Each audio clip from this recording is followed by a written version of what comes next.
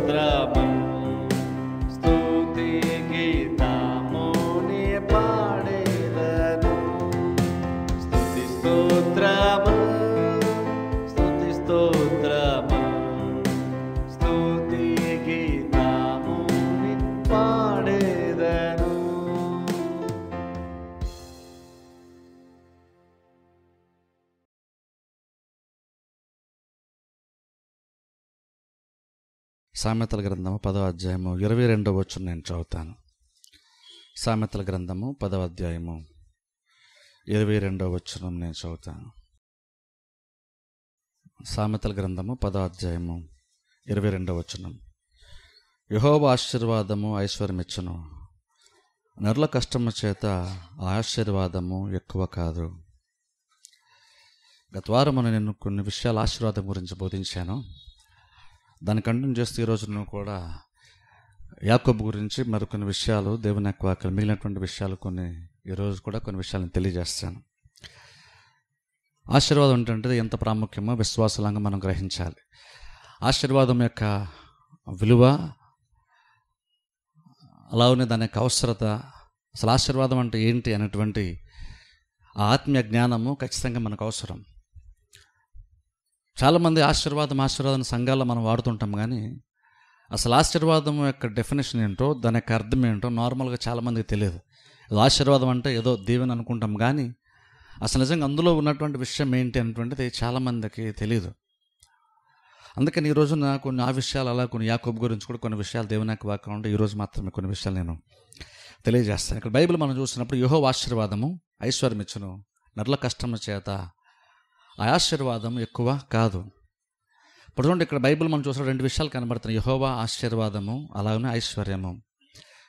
యహో ఆశీర్వాదం ఏమో మనకి ఐశ్వర్యం ఇస్తుంది అని బైబిల్ చెప్తుంది. నరుల కష్టం చేత అది ఎక్కువ కాదు. నరుల కష్టం చేత ఎక్కువ కాదంటే ఐశ్వర్యం అటువంటిది నరుల కష్టం చేత అది ఎక్కువ కాదు. ఇందా నూట ఇరవై ఏడు కీర్తనలు చదవని చూసారా? మీరు వేకువనే లేచి చాలా రాత్రి అయిన తర్వాత పండుకొనుచు కష్టార్జితమైన ఆహారము తినుచుండట వ్యర్థము అని బైబిల్ చెప్తుంది. ఇప్పుడు రెండు ఈ రోజుల్లో మనం ఏంటంటే కష్టం అనేటువంటి దానికి చాలా విలువ ఈ రోజుల్లో ఉంది. కష్టం అనేటువంటి దానికి చాలా విలువ ఉంది. ఎక్కువ కష్టపడితే ఎక్కువ శాలరీ వస్తుంది. మేనేజ్మెంట్ కూడా ఎక్కువ కష్టపడేటువంటి వాళ్ళకి ఎక్కువ శాలరీ ఇస్తారు. తక్కువ కష్టపడేటువంటి వాళ్ళకి తక్కువ శాలరీ ఇస్తారు. ప్రపంచంలో మనం ఏ మూలకెళ్ళినా సరే కష్టానికి ఖచ్చితంగా ఒక విలువ అంటూ దానికి ఉంది. బైబిల్ కూడా మాట ఏముంటుందంటే మీరు వేకువనే లేచి చాలా రాత్రి అయిన తర్వాత పండుకొనచ్చు. కష్టార్జితమైనటువంటి ఆహారము చాలా కష్టపడి తెచ్చుకున్నటువంటి దాన్ని మీరు అనుభవించడం వ్యర్థం అంటుంది. చాలా కష్టపడి సంపాదించుకోలేనిది వ్యర్థం అని బైబిల్ చెప్పట్లేదు. చాలా రాత్రి అయిన తర్వాత పండు అంటే ఎక్కువసేపు కష్టపడి ఆ కష్టము ద్వారా సంపాదించుకొని తినడము వ్యర్థమని బైబిల్ చెప్తుంది. ఇప్పుడు ప్రపంచం అంతా అలాగనే కదా ఉంటుందని మనం అనుకుంటాం. ప్రపంచం అంతా అలా ఉంది కానీ దేవుడు పనిచేసే విధానం మాత్రం అలాగున్నా లేదు. దేవుడు పనిచేసే విధానం వేరు. ప్రపంచం ఏమో కష్టపడండి కష్టపడితే ఎక్కువ ప్రతిఫలం మనకు దొరుకుతుందని ప్రపంచం చెప్తుంది మనకి. ఈవెన్ యాక్చువల్ ప్రపంచం మనల్ని మోల్డ్ చేసే ప్రయత్నం చేస్తుంది. కానీ బైబిల్ దేవుడు చెప్తున్న మాట ఏంటంటే యుహో ఆశీర్వాదము ఐశ్వర్యనిస్తుంది. దేవుని యొక్క ఆశీర్వాదం వేరు ఐశ్వర్యము వేరు. ఆశీర్వాదం ఐశ్వర్యాన్ని తీసుకొస్తుందట. అందుకనే క్రిస్టియన్స్గా మనం ఐశ్వర్యం వెనకాల వెళ్ళకూడదు ఆశీర్వాదం వెనకాల వెళ్ళాలి. ఎందుకంటే ఆశీర్వాదం ఐశ్వర్యం తీసుకొస్తుంది అన్నప్పుడు దాని అర్థం ఏంటంటే ఫస్ట్ ఆఫ్ ఆల్ ఐశ్వర్యం కంటే ఆశీర్వాదం ఇంకా గొప్పదని అర్థం. చాలామంది అనుకుంటుంటే ఆశీర్వాదమే ఐశ్వర్యం అనుకుంటారు. అందుకనే ఓ వ్యక్తి బాగా సంపాదించుకోగలిగితే ఆర్థికంగా ఏమంటారంటే దేవుడు బాగా దీవించాడని అంటాం. కానీ దీవెన అనేటువంటిది కేవలము ఐశ్వర్యాన్ని వరకే సంబంధించినటువంటి కార్యము కాదు. బట్ ఇంకా యాక్చువల్ చెప్పాలంటే ఆశీర్వాదం అన్నమాట అర్థం ఏంటంటే ఓ రకం చెప్పాలంటే మనం సుఖముగా బ్రతడం ఇంగ్లీష్లో అయితే యాక్చువల్గా ప్రాస్పరస్ అంటారు. దాని చాలా సందర్భాలు న్యూ ఇయర్ సందర్భాలు ఏంటంటే happy and prosperous new year అంటాం. అంటే అర్థం ఏంటంటే నీకు అన్ని సౌఖ్యంగా సుఖంగా ఉండాలని. అదే యోహాన్ కూడా ప్రార్థన చేస్తారు. తన మూడో పత్రికలో ప్రార్థన చేస్తూ ప్రియుడు నీ ఆత్మ వర్ధిల్లుచున్న ప్రకారం నువ్వు అన్ని విషయాల్లో వర్ధిల్చు సౌఖ్యముగా. వర్ధిల్లు అంటే ఎదగటము. అది ఎదుగుతూ సుఖముగా ఉండడం. ఇప్పుడు సుఖముగా ఉండడం అనేసరికి ఏమవుతుందంటే అక్కడ కేవలము అది ధనాన్ని సంపాదించుకోవడం మాత్రమే కాదు మానసికంగా సంతోషంగా ఉండడం అలాగే భౌతికంగా ఆరోగ్యంగా ఉండడం. ఇదంతా కూడా ఆశీర్వాదంలోనికే వస్తుందట. ఇప్పుడు ఆశీర్వాదం అంటే కేవలం ఏదో ధనం వరకే మనం పరిమితం చేయకూడదు. చాలా సందర్భాల్లో క్రిస్టియన్స్కి మనం ధనం వరకే పరిమితం చేస్తాం. కానీ ఆశీర్వాదం అనేటువంటిది కేవలం ధనం వరకే సంబంధించింది కాదు. ఆశీర్వాదం అనేటువంటిది చాలా విషయాలు తీసుకొస్తుంది.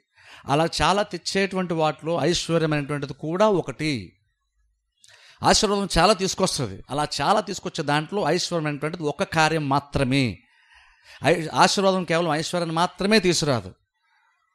ఆశీర్వాదం ఏంటంటే చాలా కార్యాలు తీసుకొస్తుంది. ఈరోజు యాకోబ్ యొక్క జీవితంలో మనం చూస్తాం. ఆశీర్వాదం కేవలం ఐశ్వర్యం మాత్రం తీసుకురాదు. చాలా విషయాలు అది తీసుకొస్తుంది. ఆశీర్వాదం మనకు ఆరోగ్యాన్ని ఇస్తుంది. ఆశీర్వాదం మనకు సుఖాన్ని ఇస్తుంది. ఆశీర్వాదం మనకు నెమ్మదిని ఇస్తుంది. ఆశీర్వాదం అంటుంటే చాలా మన జీవితమునకు సంబంధించిన ప్రతి విషయాన్ని ఇచ్చేది మనకు ఆశీర్వాదము. అందుకనే మనము అసలు ఏదైనా తోటలోకి వెళ్ళిపోతేనే దేవుడు అక్కడ మనిషిని ఆశ ఫస్ట్ ఆఫ్ ఆల్ దేవుడు చేసిన పని ఏంటంటే మనిషితో మనిషిని దేవుడు ఆశీర్వదించడానికి బైబిల్ మనం చూస్తాం. ఇది చాలాసార్లు నేను ఆశీర్వదం చెప్పినప్పుడు చెప్పాను ఈ విషయాలు. దేవుడు మనిషిని చేసిన ఫస్ట్ ఆఫ్ ఆల్ మనిషిని మనిషితో మాట్లాడిన మాట దేవుడు నోరు తెరిచి మనిషిని సృష్టించిన తర్వాత మాట్లాడిన మొదటి మాట ఏంటంటే దేవుడు వారిని ఆశీర్వదించాను అని బైబిల్ మనం చూస్తాం. అంటే అర్థం ఏంటంటే ఈ రోజుల్లో దరిద్రం ఉంది కాబట్టి ప్రాబ్లమ్స్ ఉన్నాయి కాబట్టి వ్యతిరేకంగా పనిచేసే కార్యాలు చాలా ఉన్నాయి కాబట్టి ఆశీర్వాదం ఇప్పుడు అవసరం అని కాదు. అలాంటిది ఏమీ లేనప్పుడే ఇంకా సాతానుడు యాక్చువల్గా ఆదాం దగ్గర రాక మునిపే ఆదాముకి సాతాన్ వాడు ఉన్నాడన్న విషయం తెలియక మునిపే ఇంకను ఆదాం అసలు ఉనికిలోనికి రాక మునిపే ఆదామును చేయగానే దేవుడు వారిని ఆశీర్వదించిన బైబిల్ మనం చూస్తాం. అంటే అర్థం ఏంటంటే బేసిక్గా మనిషి యొక్క జీవితం అనేటువంటిది ఆశీర్వాదంతో నింపబడాలి. ప్రాబ్లమ్స్ ఉన్నాయి కాబట్టి మనకు ఆశీర్వాదం కావాలని కాదు. లేదంటే మనకి మంచి సరైన ఉద్యోగం లేదు కాబట్టి మనకి ఇప్పుడు ఆశీర్వాదం కావాలని కాదు. లేదా మనకి సరైన ఇన్కమ్ సోర్స్ లేదు కాబట్టి ఇన్కమ్ సోర్స్ లేదు కాబట్టి ఇప్పుడు ఆశీర్వాదం కావాలి అని కాదు. ఆశీర్వాదం అంటే ధనానికి ఆల్టర్నేటివ్ కాదు. ఆశీర్వాదం అంటే ప్రతి ఒక్క దానికి మూలమవుతుంది. మన దగ్గర డబ్బులు లేవు కాబట్టి ఇప్పుడు మనకు ఆశీర్వాదం కావాలి. అందుకని ఆశీర్వాదం కోసం ప్రయాసపడదామని కాదు. లేదా మనకి ఇంకేదో లేదు కాబట్టి ఇప్పుడు మనకు అది లేదు కాబట్టి ఇప్పుడు మనకు ఆశీర్వాదం అవసరం. కాబట్టి ఆశీర్వాదం కోసం ప్రయాసపడదామని కాదు. ఆశీర్వాదం అనేటువంటిది వేరే వేరే కార్యాలకి ఆల్టర్నేటివ్గా కాదు. అంటే అది లేదు కాబట్టి ఇది ఉండాలి మనకి అని కాదు. ఏదున్నా లేకపోయినా సార్ ఫస్ట్ ఆఫ్ ఆల్ మనిషికి కనీసం ఆశీర్వాదం ఖచ్చితంగా అవసరం. అందుకనే దేవుడు మనిషిని చేసిన ఫస్ట్ పలికిన మాట ఇది అంటే అర్థం ఏంటంటే మనిషికి ఖచ్చితంగా దేవుడు నాకు ఆశీర్వాదం అవసరం. జీవితంలో ఆశీర్వాదం లేకుండా మనిషి దేవుడు ఆశించిన స్థాయిలో దేవుడు అనుకున్నటువంటి స్థాయిలో మనిషి యాక్చువల్గా బ్రతకలేడు. దాన్ని బట్టి ఆలోచిస్తే ఆశీర్వాదం నిజంగా మనకి ఎంత అవసరం మనం గుర్తించాలి. మనకేవో ప్రాబ్లమ్స్ ఉన్నాయి కాబట్టి ఆశీర్వాదం కావాలని కాదు. ఏ ప్రాబ్లం ఆదాముకి లేక మునిపే అసలు ఆదాం ఉనికిలోనికి రాక మునిపే దేవుడు ఆదాముని దీవించినట్లు బైబిల్ మనం చూస్తాం. ఇప్పుడు చూడండి అంటే ఇప్పుడు అంటే ఇప్పుడు దాని అర్థం ఏంటంటే ఆశీర్వాదం అంటే ఐశ్వర్యానికి ఆల్టర్నేటివ్ కాదు. ఆశీర్వాదం అంటే మన కష్టమునకు ఆల్టర్నేటివ్ అంటే మనం కష్టపడుతున్నాం కాబట్టి మనం తినగలుగుతున్నాం అని కాదు. దేవుడు ఆశీర్వదిస్తాడు కాబట్టి మనం తినగలుగుతాం. ఇప్పుడు చూడండి మనం ఎప్పుడు కూడా మైండ్లో అది పెట్టుకోవాలి. మనం కష్టపడ్డాం కాబట్టి మనం తింటున్నాం కష్టపడకపోతే మనం తినమని కాదు. ఇప్పుడు అలా అన్నప్పుడు చాలామంది అనుకుంటారు అయితే కష్టపడాల్సిన అవసరం లేదమని చాలామంది అనుకుంటారు. కష్టపడాల్సిన అవసరం లేదని నేను చెప్పట్లేదు యాక్చువల్గా ఎందుకంటే కష్టపడాలి ఖచ్చితంగా. బైబిల్ వచ్చిన ఎంతమంది విశ్వాసాలు ఎన్ని రకాల కష్టపడ్డారు? వాళ్ళు ఫస్ట్ ఆఫ్ ఆల్ వాళ్ళ వాళ్ళు ఆశీర్వాదం గురించి కొన్ని విషయాలు తెలుసుకున్నారు. ఆశీర్వాదం వాళ్ళ జీవితంలో పనిచేస్తారని వాళ్ళు అర్థం చేసుకున్నారు. ఆశీర్వాదం వాళ్ళకి సామర్థ్యాన్ని ఇస్తారని అర్థం చేసుకున్నారు. కాబట్టి ఇప్పుడు వాళ్ళు పనిచేయడం స్టార్ట్ చేశారు. వాళ్ళు కొన్ని ఎందుకు కార్యములు ఎందుకు చేయడానికి ముందుకెళ్తున్నారంటే వారి జీవితంలో ఆశీర్వాదం ఉందన్న విషయం వాళ్ళకి అర్థమవుతుంది. వాళ్ళు పని చేస్తున్నప్పుడు కీర్తన గంధ మోతాజం చెప్పినట్టుగా అతడు చేయనిదంతయు సఫలమగును. ఆశీర్వాదం ఉంది కాబట్టి ఇప్పుడు నేను చేసే ప్రతిదీ దేవుడు నన్ను దీవిస్తాడు ఆశీర్దిస్తాడు అని అర్థమైంది కాబట్టి ఆశీర్వాదం ఉందని అర్థమైంది కాబట్టి మనం కష్టపడతాం. నార్మల్ ఏమనుకుంటాం అంటే మనకు ఆశీర్వాదం మనకి ఏది లేదు కాబట్టి మనం కష్టపడతామని అనుకుంటాం. ఏది లేదు కాబట్టి కష్టపడుతున్నాను కాదు. విశ్వాసం అనేవాడు కష్టపడేటప్పుడు ఏం అర్థం చేసుకోవాలంటే నాకు ఆశీర్వాదం లేదు కాబట్టి నేను కష్టపడతాను అని కాదు. లేదంటే ఆశీర్వాదం ఉంది కాబట్టి నేను కష్టపడాల్సిన అవసరం లేదు అని కాదు. విశ్వాస కష్టపడతాడు. కానీ ఎలా కష్టపడతాడంటే ఏ ఏ మైండ్ సెట్తో కష్టపడతాడంటే ఏ అవగాహనతో కష్టపడతాడంటే ఆశీర్వాదం ఉంది అని గ్రహిస్తున్నాం కాబట్టి దేవుడు దీవించడానికి గ్రహించాం కాబట్టి ఇప్పుడు మనం వెళ్ళి కష్టపడడానికి మనం సిద్ధపడుతున్నాం. ఆదాం అందుకనే చూడండి పాపం రాకముని పనిచేసినప్పుడు ఆదాంకి ఎప్పుడు కూడా పని అనేటువంటిదో చాలా సంతోషాన్ని ఇచ్చింది ఎందుకంటే ఫస్ట్ ఆఫ్ ఆల్ దేవుని దగ్గర నుండి దీవెన పొందుకున్నాడు. ఆ దీవెనతో వెళ్ళి పనిచేశాడు అందుకని పని ఎప్పుడు కూడా ఆదాముకి పాపమునకు మునుపు ప్రయాసం అని ఎప్పుడు అనిపించలేదు. ప్రయాసం ఎందుకు అనిపించలేదంటే అతడు పని చేసేటప్పుడు కేవలం నా దేవుడు ఏదో నాకు పని చెప్పాడు. ఈ పని చేస్తేనే దేవుడు నాకు మధ్యాహ్నం భోజనం ఇస్తాడు లేదా భోజనం కూడా అన్నట్లుగా ఆదాం పని చేయలేదు. ఆదాం పని చేసినప్పుడు ఆదాం తెలిసిన విషయం ఏంటంటే ఎందుకంటే దేవుడు పలికాడు. ఆదాంతో దేవుడు పలికాడు. మీరు ఫలించండి అభివృద్ధి చెందండి విస్తరించండి భూమిని నిండించండి దాన్ని లోపరుచుకోండి అని దేవుడు చెప్పాడు. ఆ మాటలో ఆదాం యొక్క చెవుల్లోకి ఆదాం యొక్క హృదయంలోనికి వెళ్ళి ఆదాం ఖచ్చితంగా ఆశీర్వదించి ఆదాం ఖచ్చితంగా తెలుసు. అందుకని ఆదాము దేని గురించి అని వర్రి అవ్వలేదు. దేని గురించి ఆదాము అసలు? ఏదైనా తోటలో ఆదాము వర్రి అవ్వడం మనం చూడనే చూడం. ఎందుకు చూడమంటే దేవుని యొక్క దీవెన ఆయన ఉన్నటువంటి ప్లేస్లో ఆయన పని చే- ఆయన జీవితంలో పనిచేస్తుంది కాబట్టి ఆయనకి వేరే రకమైనటువంటి ఆలోచనలు ఆదాముకి అసలు లేనే లేవు. అందుకని ఇప్పుడు కూడా పని ఆయనకి కష్టంగా అనిపించలేదు. కష్టపడ్డాడు దాని తగ్గట్టుగా ఎంతో ఆశీర్వాదం ఎంతో ప్రతిఫలాన్ని కూడా పొందుకున్నాడు. అందుకని చూడండి మీరు వేకువనే లేచి చాలా రాత్రి అయిన తర్వాత పండు కొంచెం కష్టాజితం ఆహారం తినటం వ్యర్థమే. మనం కనుక మనం చేస్తున్నటువంటి ఉద్యోగంలో నేను గుడ్లాగా కష్టపడుతున్నాను నాకు వచ్చేది తక్కువే అనుకుంటే అర్థం ఏంటంటే ఫస్ట్ ఆఫ్ ఆల్ నువ్వు ఏం గుర్తుపెట్టుకోండి నీకు ఆశీర్వాదం ఖచ్చితంగా నీకు అవసరమైన విషయం గుర్తుపెట్టుకోవాలి. మనం చేసేటువంటి వాళ్ళు ఎవరైనా సరే నేను చాలా కష్టపడుతున్నాను కష్టపడాల్సి వస్తుంది. అని కనుక ఆ పని మీద మనకు అలాంటి ఆలోచన కనుకుంటే అలాంటి నెగిటివ్ థాట్స్ కనుక మనకుంటే నీకు ఫస్ట్ ఆఫ్ ఆల్ నీకు ఆశీర్వాదం గురించి నీకు తెలియాలి అని అర్థం. ఎందుకంటే నువ్వు పని చేస్తున్నావు కష్టపడుతున్నావు అది లోకం ఎప్రిషియేట్ చేస్తుంది మంచిదే. కానీ నువ్వు దేవుడు అలా ఎప్రిషియేట్ చేయడు. ఎందుకంటే నువ్వు ఆశీర్వాదం గురించి ఆలోచించకుండా నీ జీవితంలో ఆశీర్వాదం గురించి స్థానమును ఇవ్వకుండా ఊరి అందరిలాగానే నువ్వు వెళ్ళి కష్టపడుతున్నావు. దేవుడు అంటున్నాడు అలా కష్టపడేటువంటి జీవిత విధానం ఏదవుతుందో అలా కష్టపడి నువ్వు తెచ్చుకున్నటువంటి జీవితం వేస్ట్ అంటున్నాడు దేవుడు. అది వేస్ట్ అంట. ఎందుకంటే అంతకంటే ఈజీగా నీకు ఆశీర్వాదం తీసుకొస్తున్నప్పుడు అంతకంటే ఈజీ మెథడ్ నీకు ఉన్నప్పుడు అనవసరంగా నువ్వు ఎందుకు వెళ్ళి కష్టపడుతున్నావు? ఆశీర్వాదం ఏం చేస్తుందో అర్థం చేసుకుంటే ఆశీర్వాదం ఎంత సామర్థ్యాన్ని మనకి ఇస్తుందో అర్థం చేసుకుంటే అది అర్థం చేసుకొని దాన్ని బట్టి పనిచేయడం స్టార్ట్ చేస్తే దాన్ని బట్టి మనం చేసేటువంటి పనులు చేయడం స్టార్ట్ చేస్తే ఆశీర్వాదము నీకు బెటర్ రిజల్ట్స్ అనేది ఇస్తుంది. ఇంకా ఎక్కువ ప్రతిఫలాన్ని ఆశీర్వాదం మనకి ఇస్తుంది. ఎందుకంటే నీ కష్టం కంటే ఆశీర్వాదం చాలా చాలా బలమైంది. మనిషి కష్టం ఎప్పుడు కూడా తనకి జీవితాన్ని గొప్పగా మార్చేదు కానీ బైబిల్లో కానీ మీరు చూడండి బైబిల్లో ఆ వ్యక్తి యొక్క జీవితం చూడండి ఆశీర్వాదం పొందుకున్న తర్వాత వ్యక్తి యొక్క జీవితం ఎంత గొప్పగా దేవుడు మార్చేస్తాడో మనకు అర్థమవుతుంది. కష్టపడిన ప్రతి వాళ్ళు ఆశీర్వదింప కష్టపడిన ప్రతి వాళ్ళు పైకి వచ్చిన బైబిల్లో మనం చూడం. కానీ దేవుని యొక్క దీవెన పొందుకున్నటువంటి వారు ఆ దీవెనను బట్టి ఆశీర్వాదం పొందుకున్నటువంటి వారు జీవితం చాలా చాలా అసలు ఎక్స్ట్రీమ్గా మారిపోవడం బైబిల్ మనం చూస్తాం. ఉదాహరణకి బైబిల్లో చూడండి ఎడ్బేజన్ చూడండి. అసలు ఆ పేరు తను తలపెట్టినప్పుడే చాలా నెగిటివ్ థాట్స్ పెట్టింది ఆ తెల్ల పేరు. కానీ దేవుడు ఆశీర్వదించాలని అతను ప్రార్థన చేసిన బయలు అతను కూడా ఆశీర్వాదం కూడా వెతికాడు అతను. దేవుని అడిగాడు ఇజ్రాయెల్ దేవుడు ఒక ఆయన ఉన్నాడు ఆయన ఆశీర్వదించేటువంటి దేవుడు ఆయనకు అర్థమైంది. అర్థమయ్యి ఆయన దేవుని ప్రార్థన చేశాడు ఇంకా చాలా బహుశా చేస్తుంటాడు. మన బైబిల్ ఆయన గురించి రెండు మూడు వచనాల్లో ఉంది. కానీ ఇంకా చాలా చేస్తుంటాడు. కానీ ఆయన ఒకటి మాత్రం నిజంగా సిన్సియర్గా ఆయన చేసినటువంటి విషయం ఏంటంటే దేవుని ఆశీర్వాదం కోసం అడిగాడట ఆయన. ఆశీర్వాదం కూర్చున్న ఆలోచన ఆయనకు ఉంది ఎందుకుందంటే ఎందుకు ఉందంటే ఆయన జీవితము ఆయన సరిగ్గా లేదని విషయం ఆయనకు అర్థమైంది.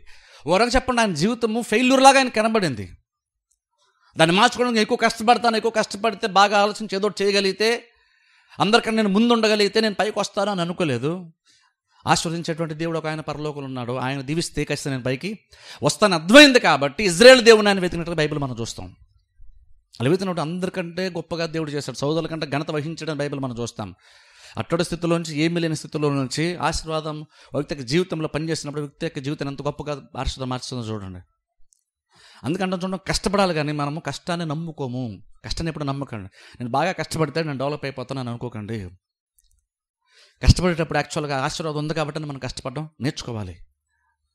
యుహో ఆశీర్వాదం ఐశ్వర్యం ఇచ్చును. నరుల కష్టం చేత అది ఎక్కువ కాదు. ఇక్కడ జస్ట్ ఆశీర్వాదం ఇచ్చేటువంటి అనేకమైన కార్యాలు ఒక కార్యం ఇక్కడ బైబిల్ మనకి ఇక్కడ చూస్తున్నాం. కానీ నిజంగా అసలు ఆశీర్వాదం అంటే ఏంటి? అంటే చూడండి ఒకసారి ఒకసారి ద్వితోపదేశ కాండానికి వెళ్దాం ఒకసారి. ద్వితోపదేశ ఎనిమిదో అధ్యాయము ద్వితీయోపదేశ కాండం ఎనిమిదో అధ్యాయము పద్దెనిమిదో వచ్చిన ద్వితీయోపదేశ కాండం ఎనిమిదో అధ్యాయము పద్దెనిమిదో వచ్చిన నేను చదువుతాను. చాలాసార్లు మనం చూసుకున్న వచ్చినమే చూడండి పదిహేడు నుంచి చదువుతాను చూడండి. ద్వితీయోపదేశ కాండం ఎనిమిదో అధ్యాయం పదిహేడు వచ్చిన నుండి. అయితే మీరు మా సామర్థ్యము మా బాహుబలము ఎంత భాగ్యము మాకు కలుగజేశానని అనుకొందరేమో. కాగా నీ దేవుడైన యహోవాను జ్ఞాపకము చేసుకుని వెళ్ళను. ఏలయనగా తాను పితరులతో ప్రమాణము చేసినట్లు తన నిబంధనను నేటి వల్ల స్థాపింపవలనని మీరు భాగ్యము సంపాదించుకుంటుకై మీకు సామర్థ్యము కలుగజేయువాడు ఆయనే. ఇక్కడ చూడండి ఇక్కడ వాళ్ళు కాణదేశం వెళ్ళిపోయినప్పుడు వారి స్థితి గురించి దేవుడు మాట్లాడుతున్నాడు. వాళ్ళకి వెళ్ళిపోయిన తర్వాత బహుశా మీరు ఏమనుకుంటారంటే మా సామర్థ్యం మా బాహుబలము మాకు ఈ స్థితిని ఇచ్చింది అనుకుంటారేమో మీరు గుర్తుపెట్టు ఈ మంచి స్థితి మీకు వచ్చిందంటే అది మీ బలం వల్ల అది జరిగేది కాదు. మీ బలం వల్ల మీరు కొన్ని పొందుకుంటారేమో. కానీ అంత ఐగుప్తులోని వెట్టి చాకరీ చేస్తూ ఎక్కువ కష్టపడుతూ తక్కువ ప్రతిఫలం పొందుకునేటువంటి మీరు అనేక సంవత్సరాలు మీ కష్టమంతా కూడా ఫరోరాజు దాచుకున్న తర్వాత కూడా మీరు విడుదల పొందుకునేటువంటి ఆ టైం వచ్చినప్పుడు మీ కష్టమంతా ప్రతిఫలం నేను మీ చేతుల్లో పెట్టి అరణ్య యాత్రలో మిమ్మల్ని పోషించి ఏ లోటు లేకుండా చేసి మన్నాన్నిచ్చి మీకు మన్నా బోరు కొడితే మాంసాన్నిచ్చి మిమ్మల్ని యుద్ధంలో అత్యధిక విజయాన్ని మీకు ఇచ్చి సులువుగా కానాన్ దేశానికి పాలు తెలపడం దేశం మీకు తీసుకొచ్చి అక్కడ పెట్టానంటే అంత గొప్ప మార్పు ఐగుప్తులో నుండి నేను ఈ స్థితిలో మీరు ఉన్నారంటే అది మీ సామర్థ్యం మీ బాహుబలం వల్ల అయితే అది జరగదు. ఒక దేశం దేశమే ఒక రాజ్యం అనుకొని పనిచేసినా సరే ఇంత గొప్ప స్థితి రాదంట. ఎవరో వ్యక్తి పనిచేయడం నేను చెప్పట్లేదు. కొన్ని లక్షల మంది అనుకొని మనం ఐగుప్తులో ఉండి కానా దేశానికి వెళ్ళిపోదాం అని అనుకున్నంత మాత్రాన ఒక ఒక దేశం అలా అనుకున్న కొన్ని లక్షల మంది అనుకున్నా సరే ఇట్టి స్థితి వారికి యాక్చువల్గా వారి కష్టం మీద వాళ్ళకి రాదంట. దేవుడు చెప్తున్నమాట అది. కొన్ని లక్షల మంది కష్టపడినా సరే ఎంత ప్లాన్ చేసుకున్నా సరే అలాంటి స్థితి ఐగుప్తు లాంటి స్థితి నుంచి కానాను దేశం లాంటి స్థితి జీవితంలో సంపాదించుకోలేరు. నువ్వు జీవితాంతం కష్టపడిన యాక్చువల్గా ఆ స్థితి విశ్వాసులకి మనకి మనుషులకి మనకి రాదు. దడది చెప్తున్నాడు. అన్నాడు దానివల్ల మీకు రాదు అది ఎందుకంటే మీకు మీరు మీరు స్థితిలో ఉండడానికి నేను మీకు సామర్థ్యాన్ని ఇచ్చాను. ఆ సామర్థ్యమే ఇంకో మాటలో చెప్పండి ఆశీర్వాదము. దేవుడు మనకు ధనం కావాలంటే దేవుడు నేరుగా పైన దేవుడు నోట్లో పడేయడు. కానీ దేవుడు ఏం చేస్తాడంటే నీకు ధనం కావాలన్నప్పుడు దేవుడు నీకు సామర్థ్యాన్ని ఇస్తాడు. ఆ సామర్థ్యం ఎప్పుడు వస్తుందంటే నువ్వు ఆశీర్వాదం గురించి నువ్వు ఆలోచించినప్పుడు దాన్ని వెతికినప్పుడు నిజంగా నువ్వు దాన్ని వెతికి దాన్ని పొందుకున్నాను అర్థం చేసుకొని దేవుడు దీవించడానికి ఇష్టపడుతున్న అర్థం చేసుకొని దీవెనటువంటి నేను ఇప్పుడు వెళ్ళి పని చేస్తే నా దీవెన యొక్క ప్రతిఫలం నాకు దొరుకుతుంది అని అనుకుని వెళ్ళి పని చేస్తే అప్పుడు ఆశీర్వాదం యొక్క రిజల్ట్స్ని మనం చూస్తాం. అంటే అర్థం ఏంటంటే మనకి ఏది కావాలన్నా సరే ఫస్ట్ ఆఫ్ ఆల్ దేవుడు ఏం చేస్తాడంటే నేరుగా ఎవరి ద్వారా ఇస్తాను కదా. ఫస్ట్ ఆఫ్ ఆల్ నీకు సామర్థ్యాన్ని దేవుడు ఇస్తాడు.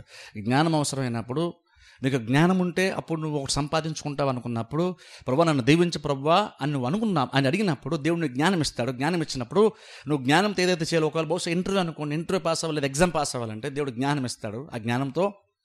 ఇప్పుడు దేవుడు జ్ఞానం ఇస్తాడు కాబట్టి మనం చదవము కష్టపడడం అవసరం లేదని కాదు. అవన్నీ మనం చేస్తాం. అవన్నీ మనం చేస్తాం ఏం గుర్తుపెట్టుకున్నా నా కష్టం వల్ల అది కాదు దేవుడు ఆశీర్వదిస్తే దానివల్ల అవుతుంది. మనం రివర్స్లో ఆలోచిస్తాం మనం. రివర్స్లో కాదు ఫస్ట్ ఆఫ్ ఆల్ ఆశీర్వాదాన్ని గ్రహించాం కాబట్టి పని చేయడం మనం స్టార్ట్ చేస్తున్నాం. ఆశీర్వాదం పనిచేస్తుంది దేవుడు నన్ను దీవించడం అర్థమైంది కాబట్టి ఇప్పుడు మనం వెళ్ళి మన ప్రయత్నాలు మనం చేస్తాం. దావీదికిను ఇజ్రాయెల్ ప్రజలకు ఉన్నటువంటి డిఫరెన్స్ అది. గొలియాతను చంపేటప్పుడు దావీదుకున్నటువంటి ఒక మైండ్ సెట్ ఏంటంటే సున్నత లేని ఫిలిస్తీన్ ఎంతటి వాడు అన్నాడు అంటే సున్నత అన్నప్పుడు బేసికల్ అర్థం దేవుని యొక్క నిబంధన. ఇప్పుడు దేవుని యొక్క నిబంధన గొలియాతకు లేదని కాదు ఇజ్రాయల్ ప్రజలు అందరితో దేవుడి నిబంధన చేసుకున్నాడు. ఇజ్రాయల్ జనమంతటితో దేవుడి నిబంధన చేసుకున్నాడు కానీ ప్రాబ్లం వచ్చినప్పుడు ఎవ్వరికి కూడా నిబంధన గుర్తుకు రాలేదు. గొలియాతను చూస్తున్నప్పుడు ఒక్కడు కూడా నిబంధన గురించి మాట్లాడలేదు. ఎవరు మాట్లాడారో నిబంధన గురించి ఎదురుగా ప్రాబ్లం పెట్టుకుని యుద్ధం గురించి ఇంకా వేరే వేరే దేని గురించి మాట్లాడాలి. సౌల్ లాంటి ఆ కవచం గురించి ఖడ్గం గురించి వీటి గురించి మాట్లాడుతున్నారు. కానీ దావిద మాత్రము నిబంధన గురించి మాట్లాడుతున్నాడు. ఎందుకంటే ఆ నిబంధన వల్ల వారికి వచ్చే బెనిఫిట్స్ వేరు.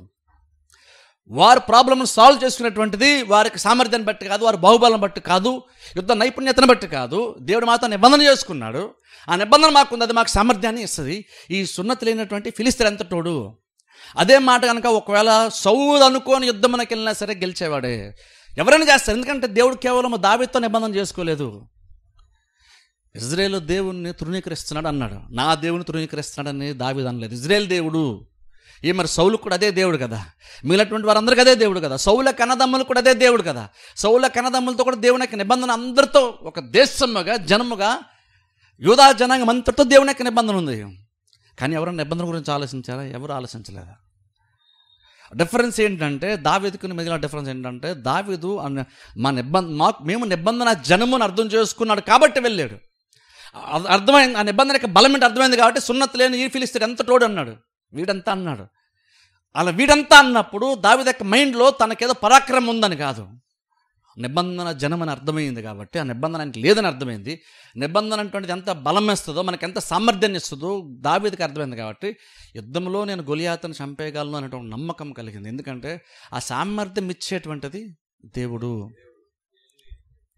అందుకనే దావేది ముందుకు వెళ్ళగలిగాడు. మిగిలిన ఎవరు వెళ్ళలేదు. ఎందుకంటే వాళ్ళకి అవగాహన లేదు. నిబంధన ఉందంటే నిబంధన ఉంది. కానీ అవగాహన ఉందంటే అవగాహన లేదు.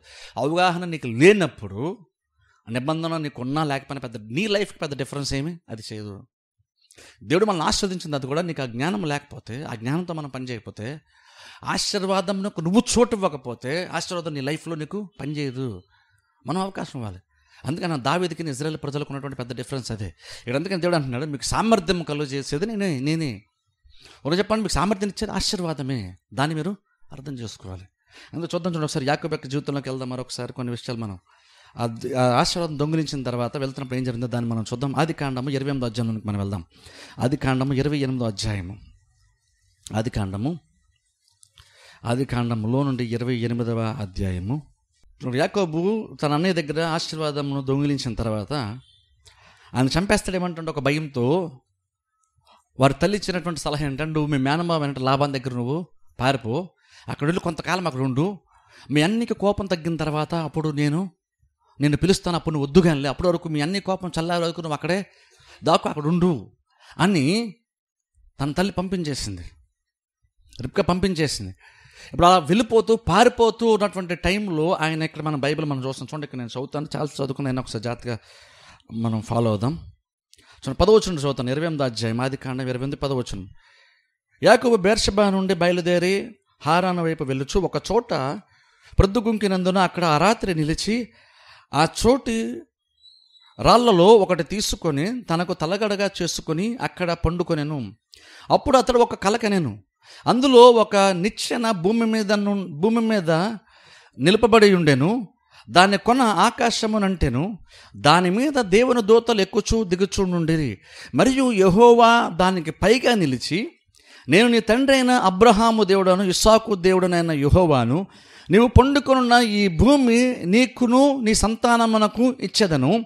నీ సంతానం భూమి మీద లెక్కకు ఇస్కిరేణువుల వలెగును నీవు పడమటి తట్టును తూర్పు తట్టును ఉత్తరపు తట్టును దక్షిణపు తట్టును వ్యాపించదవు. భూమి యొక్క వంశములన్నీ నీ మూలముగాను నీ సంతాన మూలముగాను ఆశ్రదింపడును ఇదిగో నేను నీకు తోడయ్యుండి నీవు వెళ్ళు ప్రతి స్థలమందు నిన్ను కాపాడుచు ఈ దేశమునకు నిన్ను మరలా రప్పించేదను. నేను నీతో చెప్పినది నెరవేర్చు వరకు నిన్ను విడువనని చెప్పగా ఇక్కడ గమనించిన బైబిల్ మనం చూస్తే వాళ్ళన్నీ తన ప్రాణాన్ని తీసేస్తాడని కోపంతో ఉన్నాడని గ్రహించి వారికి తల్లి యొక్క సలహా మేరకు ఆయన వాళ్ళ మేనమ్మ దగ్గర పారిపోవడానికి అక్కడ అక్కడికి ఆ గ్రామం వెళ్ళిపోవడం దూరంగా వెళ్ళడానికి ఆయన ప్రయత్నం చేస్తే పారిపోతూ ఒక చోట చీకటి పడేసరికి ఆ రోజుల్లో చీకటిలో ప్రయాణాలు చాలా రిస్క్ కాబట్టి ఒక చోట పడుకుందాం అనుకొని తల రాయిని తలగడ చేసుకొని పడుకున్నాడంట. పడుకున్నాడు బైబిల్ మనం చూస్తే అక్కడ ఆయనకు ఒక కళ వచ్చినట్టుగా బైబిల్ మనం చూస్తున్నాం. అదేంటంటే భూమి నుండి ఆకాశం వరకు పెద్ద నిచ్చెన ఏదో ఉందంట. దేవదూతలు ఎక్కుచూ దిగుచూ ఉన్నారంట. ఆ పైన దేవుడు ఉన్నాడట. ఇప్పుడు చూడండి ఒకసారి ఆలోచన చేద్దాం. అక్కడ ఆ దర్శనం ఆయన కలిగింది. అప్పుడు అక్కడి నుంచి దేవుడు మాట్లాడుతా అన్నాడు నేను నిన్ను దీవిస్తానని దీవెన గురించి కొన్ని మాటలు దేవుడు అక్కడ చెప్తున్నాడు. ఇప్పుడు ఒకసారి ఆలోచన చేద్దాం. ఆల్రెడీ యాకోబు ఇక్కడ తల వాళ్ళన్నీ యొక్క దీవెనలు దొంగిలించి తీసుకున్నాడు. అది నిజంగానే వాస్తవం. గత వారం మనం చూసాం.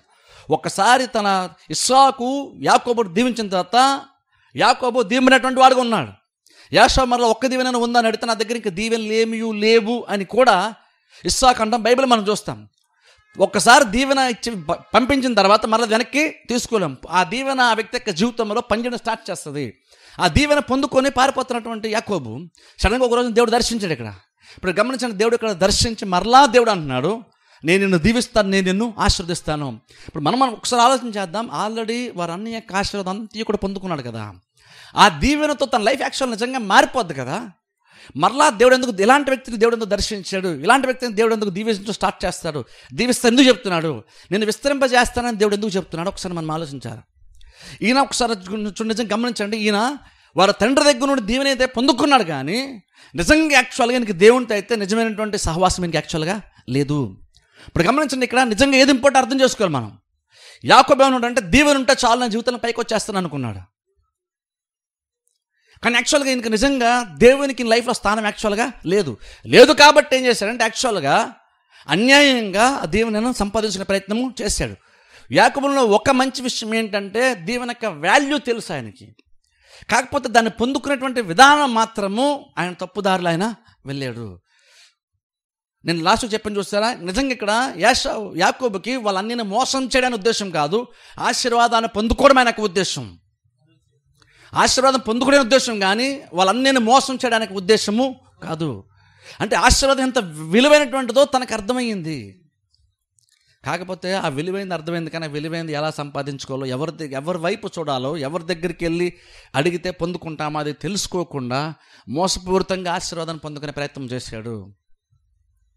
కానీ నిజంగా అలా పొందుకున్నాడు కానీ ఆశీర్వాదం ఆయనకు ఇంకొన ఉన్నప్పటికి కూడా ఇంకో ఆయన జీవితంలో ఆయనకు సాటిస్ఫాక్షన్ దొరికిందంటే ఆయన సాటిస్ఫాక్షన్ దొరకలేదు. బట్ ఇంకా చెప్పాలంటే ఆశీర్వాదం మీద ఇంత ఇంత అవగాహన ఉంది దీనికి ఇంత అవసరత గుర్తించాడు కానీ నిజంగా అంతకంటే ప్రాముఖ్యంగా ఆస్వాదించేటువంటి దేవుడి గురించి మాత్రం ఈయన పెద్దగా అవగాహన లేదు. అందుకనేమో దేవుడు దర్శించాడు యాక్చువల్గా ఈయన్ని. ఈయన దేవుడు దర్శించి దీవిస్తానని చెప్పాడు. ఒక రకంగా ఇక్కడ దేవుడు దర్శించి దీవెనిచ్చినప్పుడు దేవుడు ఒక రకంగా ఏం చెప్పాడు తెలుసా? దేవుడు ఒక రకంగా ఏమన్నాడంటే యాకోబ్బు నువ్వు దీవెన గురించి నువ్వు నానా రకాలుగా నువ్వు కష్టపడుతున్నావు. మోసం చేసి అడ్డదారిలో సంపాదించుకోవాలని నువ్వు ప్రయత్నం చేస్తున్నావు. ఆశ్రదించేటువంటి దేవుడు యాక్చువల్గా నేను ఉన్నాను కదా. దీవించాలని నేను అనుకున్నప్పుడు ఆశ్రదించాలని నేను అనుకున్నప్పుడు పెద్దవాడైతే చిన్నవాడైతే నేను దీవించాలని ఖచ్చితంగా నేను దీవిస్తాను. నేను దీవించాను. ఫస్ట్ ఆఫ్ ఆల్ నువ్వు నా దగ్గరికి నువ్వు రావాలి. ఆశీర్వాదములకు నేను కర్తని. ఆశ్రదించేటువంటి దేవుడను నేను కాబట్టి నువ్వు ఫస్ట్ ప్రపంచం యాక్చువల్ నువ్వు నాకు ఇవ్వాలి. దేవుడు లేకుండా కూడా బతికేయచ్చు ఆశీర్వాదం ఉంటే అనుకున్నాడు ఈయన. ఈరోజు కూడా బేసిక్గా చాలా మందికి ఏంటంటే మనకి మనకి దేవుడు పెద్దగా అవసరం లేదు. దేవుని యొక్క దీవెన ఉంటే మనకి చాలు. మనం అనుకుంటాం.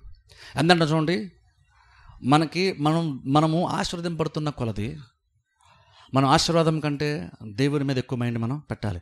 మనం దీని పడే కొలది మనం యాక్చువల్గా ఆశీర్వాదం దగ్గర కాదు జరగాల్సింది. దేవుని దగ్గరికి ఎక్కువ మనం జరగాలి. ఎందుకంటే ఆశీర్వాదం నీ జీవితం నిజంగానే మారుస్తుంది. కానీ ఆశీర్వాదం కర్తవ్యం దేవుడు నిజంగా మనం కోరుకోవాలి. ఇక్కడ చూడండి ఇంతగా ఆశీర్వాదం కోసం ప్రయాసపడే మోసం కూడా చేశారు చూసారా? అంతలాగా ప్లాన్ చేసి ఇంతలా చేశారు చూసారా? ఆ తర్వాత దేవుడు దర్శించి నేను ఆశీర్వదిస్తాను తర్వాత ఆయన మెలకు వచ్చింది. మెలుకొచ్చారంతా మనకు తెలుసు. ఆయన చూసుకుని ఆయన లేచిన తర్వాత ఇది కళ అని ఆయనకు అర్థమైంది. కానీ తర్వాత తెలిసిన విషయం ఏంటంటే ఇది నిజంగా దేవుడు నన్ను దర్శించడం అర్థమైంది. ఇది నిజంగా దేవుడు ఇక్కడ ఉన్నాడు కానీ నాకు అది తెలియలేదు అన్నాడు.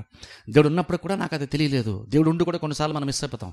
చర్చిలో మనం దేవుడు ఉంటాడు కానీ మనం దేవుడి గురించి పెద్దగా ఆలోచన చేయం దేవుడిని పక్క నుంచి సంచరిస్తున్నా నీకు దేవుడి గురించి కొంచెం కూడా క్లూనే నీకు ఉండదు. మనసు మనిషి గురించి ఆలోచిస్తాం కానీ దేవుడి గురించి పెద్దగా ఆలోచనే చేయం ఇక్కడ దేవుడు ఉన్న తర్వాత కూడా దేవునికి అనేది మిస్ అయినటువంటి యాకోబు ఇక్కడ మనం చూస్తున్నాం. దేవుడు ఉన్నాడు ఓ టైంలో నాకు తెలియదు కానీ తర్వాత ఇప్పుడు నాకు ఆ విషయము తెలిసింది. ఇది దేవుని యొక్క మందిరమే కానీ వేరొకటి కాదు. అని దేవుణ్ణి దర్శించిన తర్వాత ఒక రకంగా చెప్పండి దేవుని ఎన్కౌంటర్ చేశాడు. దేవుని దర్శించుకున్నాడు. దేవుడు ఆయనకి ఎదురుపడ్డాడు. దేవుని ఆయన ఓ రకంగా చెప్పాలంటే దేవుణ్ణి ఇప్పుడు ఆయన తెలుసుకున్నాడు. ఇంత ముందు వరకు ఆశీర్వాదం అయితే జీవితాలు మారిపోతాయి అని అర్థమైంది కాబట్టి ఆశీర్వాదం వెనకెళ్ళాడు. వెళ్ళాడు కానీ ఫస్ట్ టైం ఆయన ఫస్ట్ ఆఫ్ ఆల్ దేవుని గురించి ఆలోచన స్టార్ట్ చేశాడు. దేవుని యొక్క విలువ ఆయనకి ఇప్పుడు అర్థమైంది. ఇప్పుడు అంటున్నాడు ఇది నిజంగా ఇక్కడ దేవుడు నాకు ఇది తెలియపాను. ఇది దేవుని యొక్క మందిరం కానీ వేరొకటి? ఇది కాదు అని కొన్ని విషయాలు మనం చూస్తే సమయం లేదు కానీ నేను త్వరగా చెప్తాను ఇక్కడ. కింద మనం చూస్తే అప్పుడు నిజంగా ఆయన దేవునితో మాట్లాడడం స్టార్ట్ చేస్తాడు. అక్కడ రాయి నిలుతాడు ఇవన్నీ చేస్తాడు. కానీ చూడండి కొన్ని మాటలు మాట్లాడతాను చూడండి ఆయన నేను చదువుతాను. ఆయన దేవునితో మాట్లాడిన మాటలు నేను చదువుతాను చూడండి. ఆ ప్లేస్ యొక్క ప్రత్యేకత గురించి మాట్లాడిన తర్వాత ఇరవై వచ్చిన చదువుతాను చూడండి. ఇరవై ఎనిమిదో అధ్యాయం ఇరవై వచ్చిన చదువుతాను చూడండి.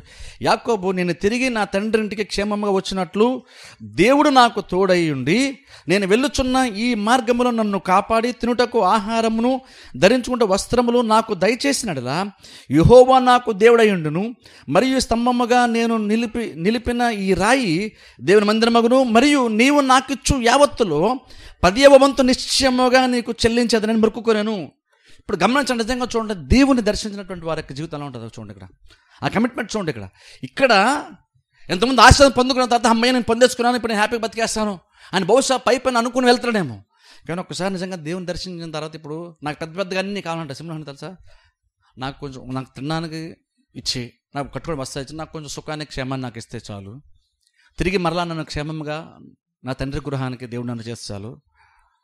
ఆయన దేవుడు ఉంటాడు అది మాత్రం కాక వెంటనే ఆయన అంటున్నాడు నేను దేవునికి దర్శనం భాగం కూడా నేను నేను దేవునికి ఇస్తాను. ఆయన దగ్గర సడన్గా అనుకోకుండా సడన్గా బయలుదేరిపోయాడు అక్కడ. వాళ్ళన్నీ చంపేస్తానంటే భయంతో సడన్గా బయలుదేరిపోయి చేతులు చెల్లి కావలేదు ఆయన దగ్గర. కానీ దర్శనం నుంచి మాట్లాడుతున్నాడు. ఆయన అంటున్నాడు దేవుడు కనుక నన్ను దీవిస్తే నేను తిరిగి దేవుని నేను ఇస్తాను.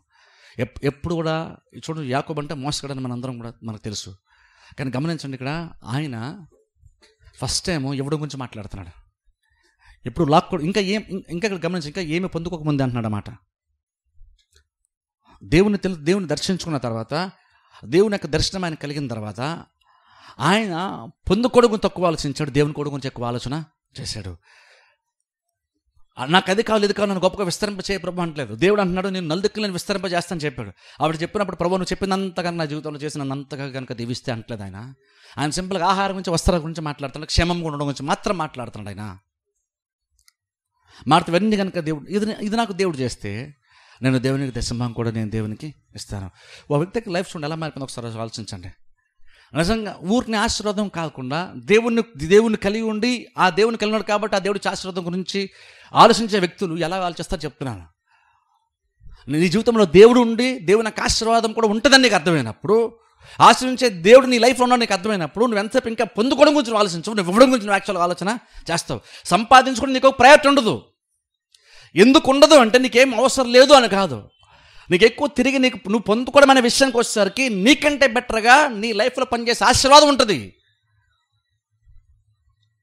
ఆ దీవెనలన్నీ వచ్చి నీకు ప్రాప్తించిన బైబిల్ ఉంది చూసారా? యాక్చువల్గా ఇంగ్లీష్ బైబిల్ వస్తే దేవుడు ఆశీర్వాదం ఆశీర్వాదాలు ఆశీర్వాదాలన్నీ అంట దీవెనలన్నీ వచ్చి నీకు ప్రాప్తిస్తాయని మనకు తెలుగు వచ్చింది కానీ ఇంగ్లీష్ బైబిల్ వస్తుంది ఆశీర్వాదాలన్నీ అంటే నీ వెనకాల వచ్చి నేను ఓవర్టేక్ చేస్తాయంట. అంటే బేసిక్ అర్థం ఏంటంటే ఆశీర్వాదాలు ఇప్పుడు నీ దగ్గర ఆశీర్వాదం లేదు. అంటే ఎక్కడో వెనకాల ఎక్కడో దూరంగా ఉంది అది. కానీ నువ్వు ముందుకెళ్తూ నువ్వు పని చేస్తున్నావు జీవితం నువ్వు జీవిస్తున్నప్పుడు నువ్వు నిజంగా దేవుణ్ణే నువ్వు వెంటాడుతున్నప్పుడు ఆశీర్వాదం కాక దేవుని వెంటాడుతున్నప్పుడు ఆశీర్వాదం కనుక నిన్ను వెంటాడుతుందంట. నువ్వు దేవుని వెంటాడుతూ ఆశీర్వాదం నేను వెంటాడుతూ వెంటాడుతూ వచ్చి ఒకప్పుడు దూరంగా ఉంది కానీ నువ్వు వెళ్తున్న స్పీడ్ కంటే అది నీ- నీకంటే ఫాస్ట్గా వచ్చి నిన్ను దాటి వెళ్ళిపోద్దంట. అంటే అంతగా నీ మీదకి వచ్చేస్తాడు నేను ఓటాక్ చేస్తుంది. అంటే ఇప్పుడు నీ పక్కన లేదు అది నీ దగ్గర లేదు. అసలు నీకు చాలా కనుసైలో కానీ మన దూరంగా ఉంది అది. కానీ అది వెనకాల వెంటాడుతూ ఉంటుంది అది ఆశీర్వాదము. ఏదో వాక్యం ఉందాం కాబట్టి వెంటనే నాకు దీవెన వచ్చేసిందా? లేదా దీవెన వచ్చిన ఫీల్ నాకేం కలగట్లేదని బహుశా మీరు ఎవరైనా అనుకోవచ్చేమో నీకు బహుశా ఫీలింగ్ లేకపోవచ్చు కానీ ఆశీర్వాదం ఖచ్చితంగా నిన్ను చేసి చేస్తుంది. ఆశీర్వాదం నువ్వు వెంటాడాల్సిన అవసరం లేదు. ఆశీర్వాదం నిన్ను వెంటాడుతుంది. మనం వెంటాడాల్సిందే దేవుణ్ణి. దేవుని వెంటాడితే ఆశీర్వాదము నీ వెనకాల నిన్ను వెంటాడుతుందంట. అందుకని మనం ఆశ ఇప్పుడు మనం చర్చకు వస్తాం. ఇప్పుడు అందుకని చూడండి అవగాహన మనకి అందుకే చాలా ఈ జ్ఞానం మనకు చాలా అవసరం అంటున్నాను. జ్ఞానం లేకుండా జనం నశించిపోతాను బైబిల్ చెప్తుంది. సత్యానికి రై సత్యమైన స్వతంత్రులుగా చేస్తున్న బైబిల్ చెప్తుంది. నిజంగా చూడండి వీటి కూర్చున్న జ్ఞానం నిజంగా మనకి ఎంత అవసరమో తెలుసా?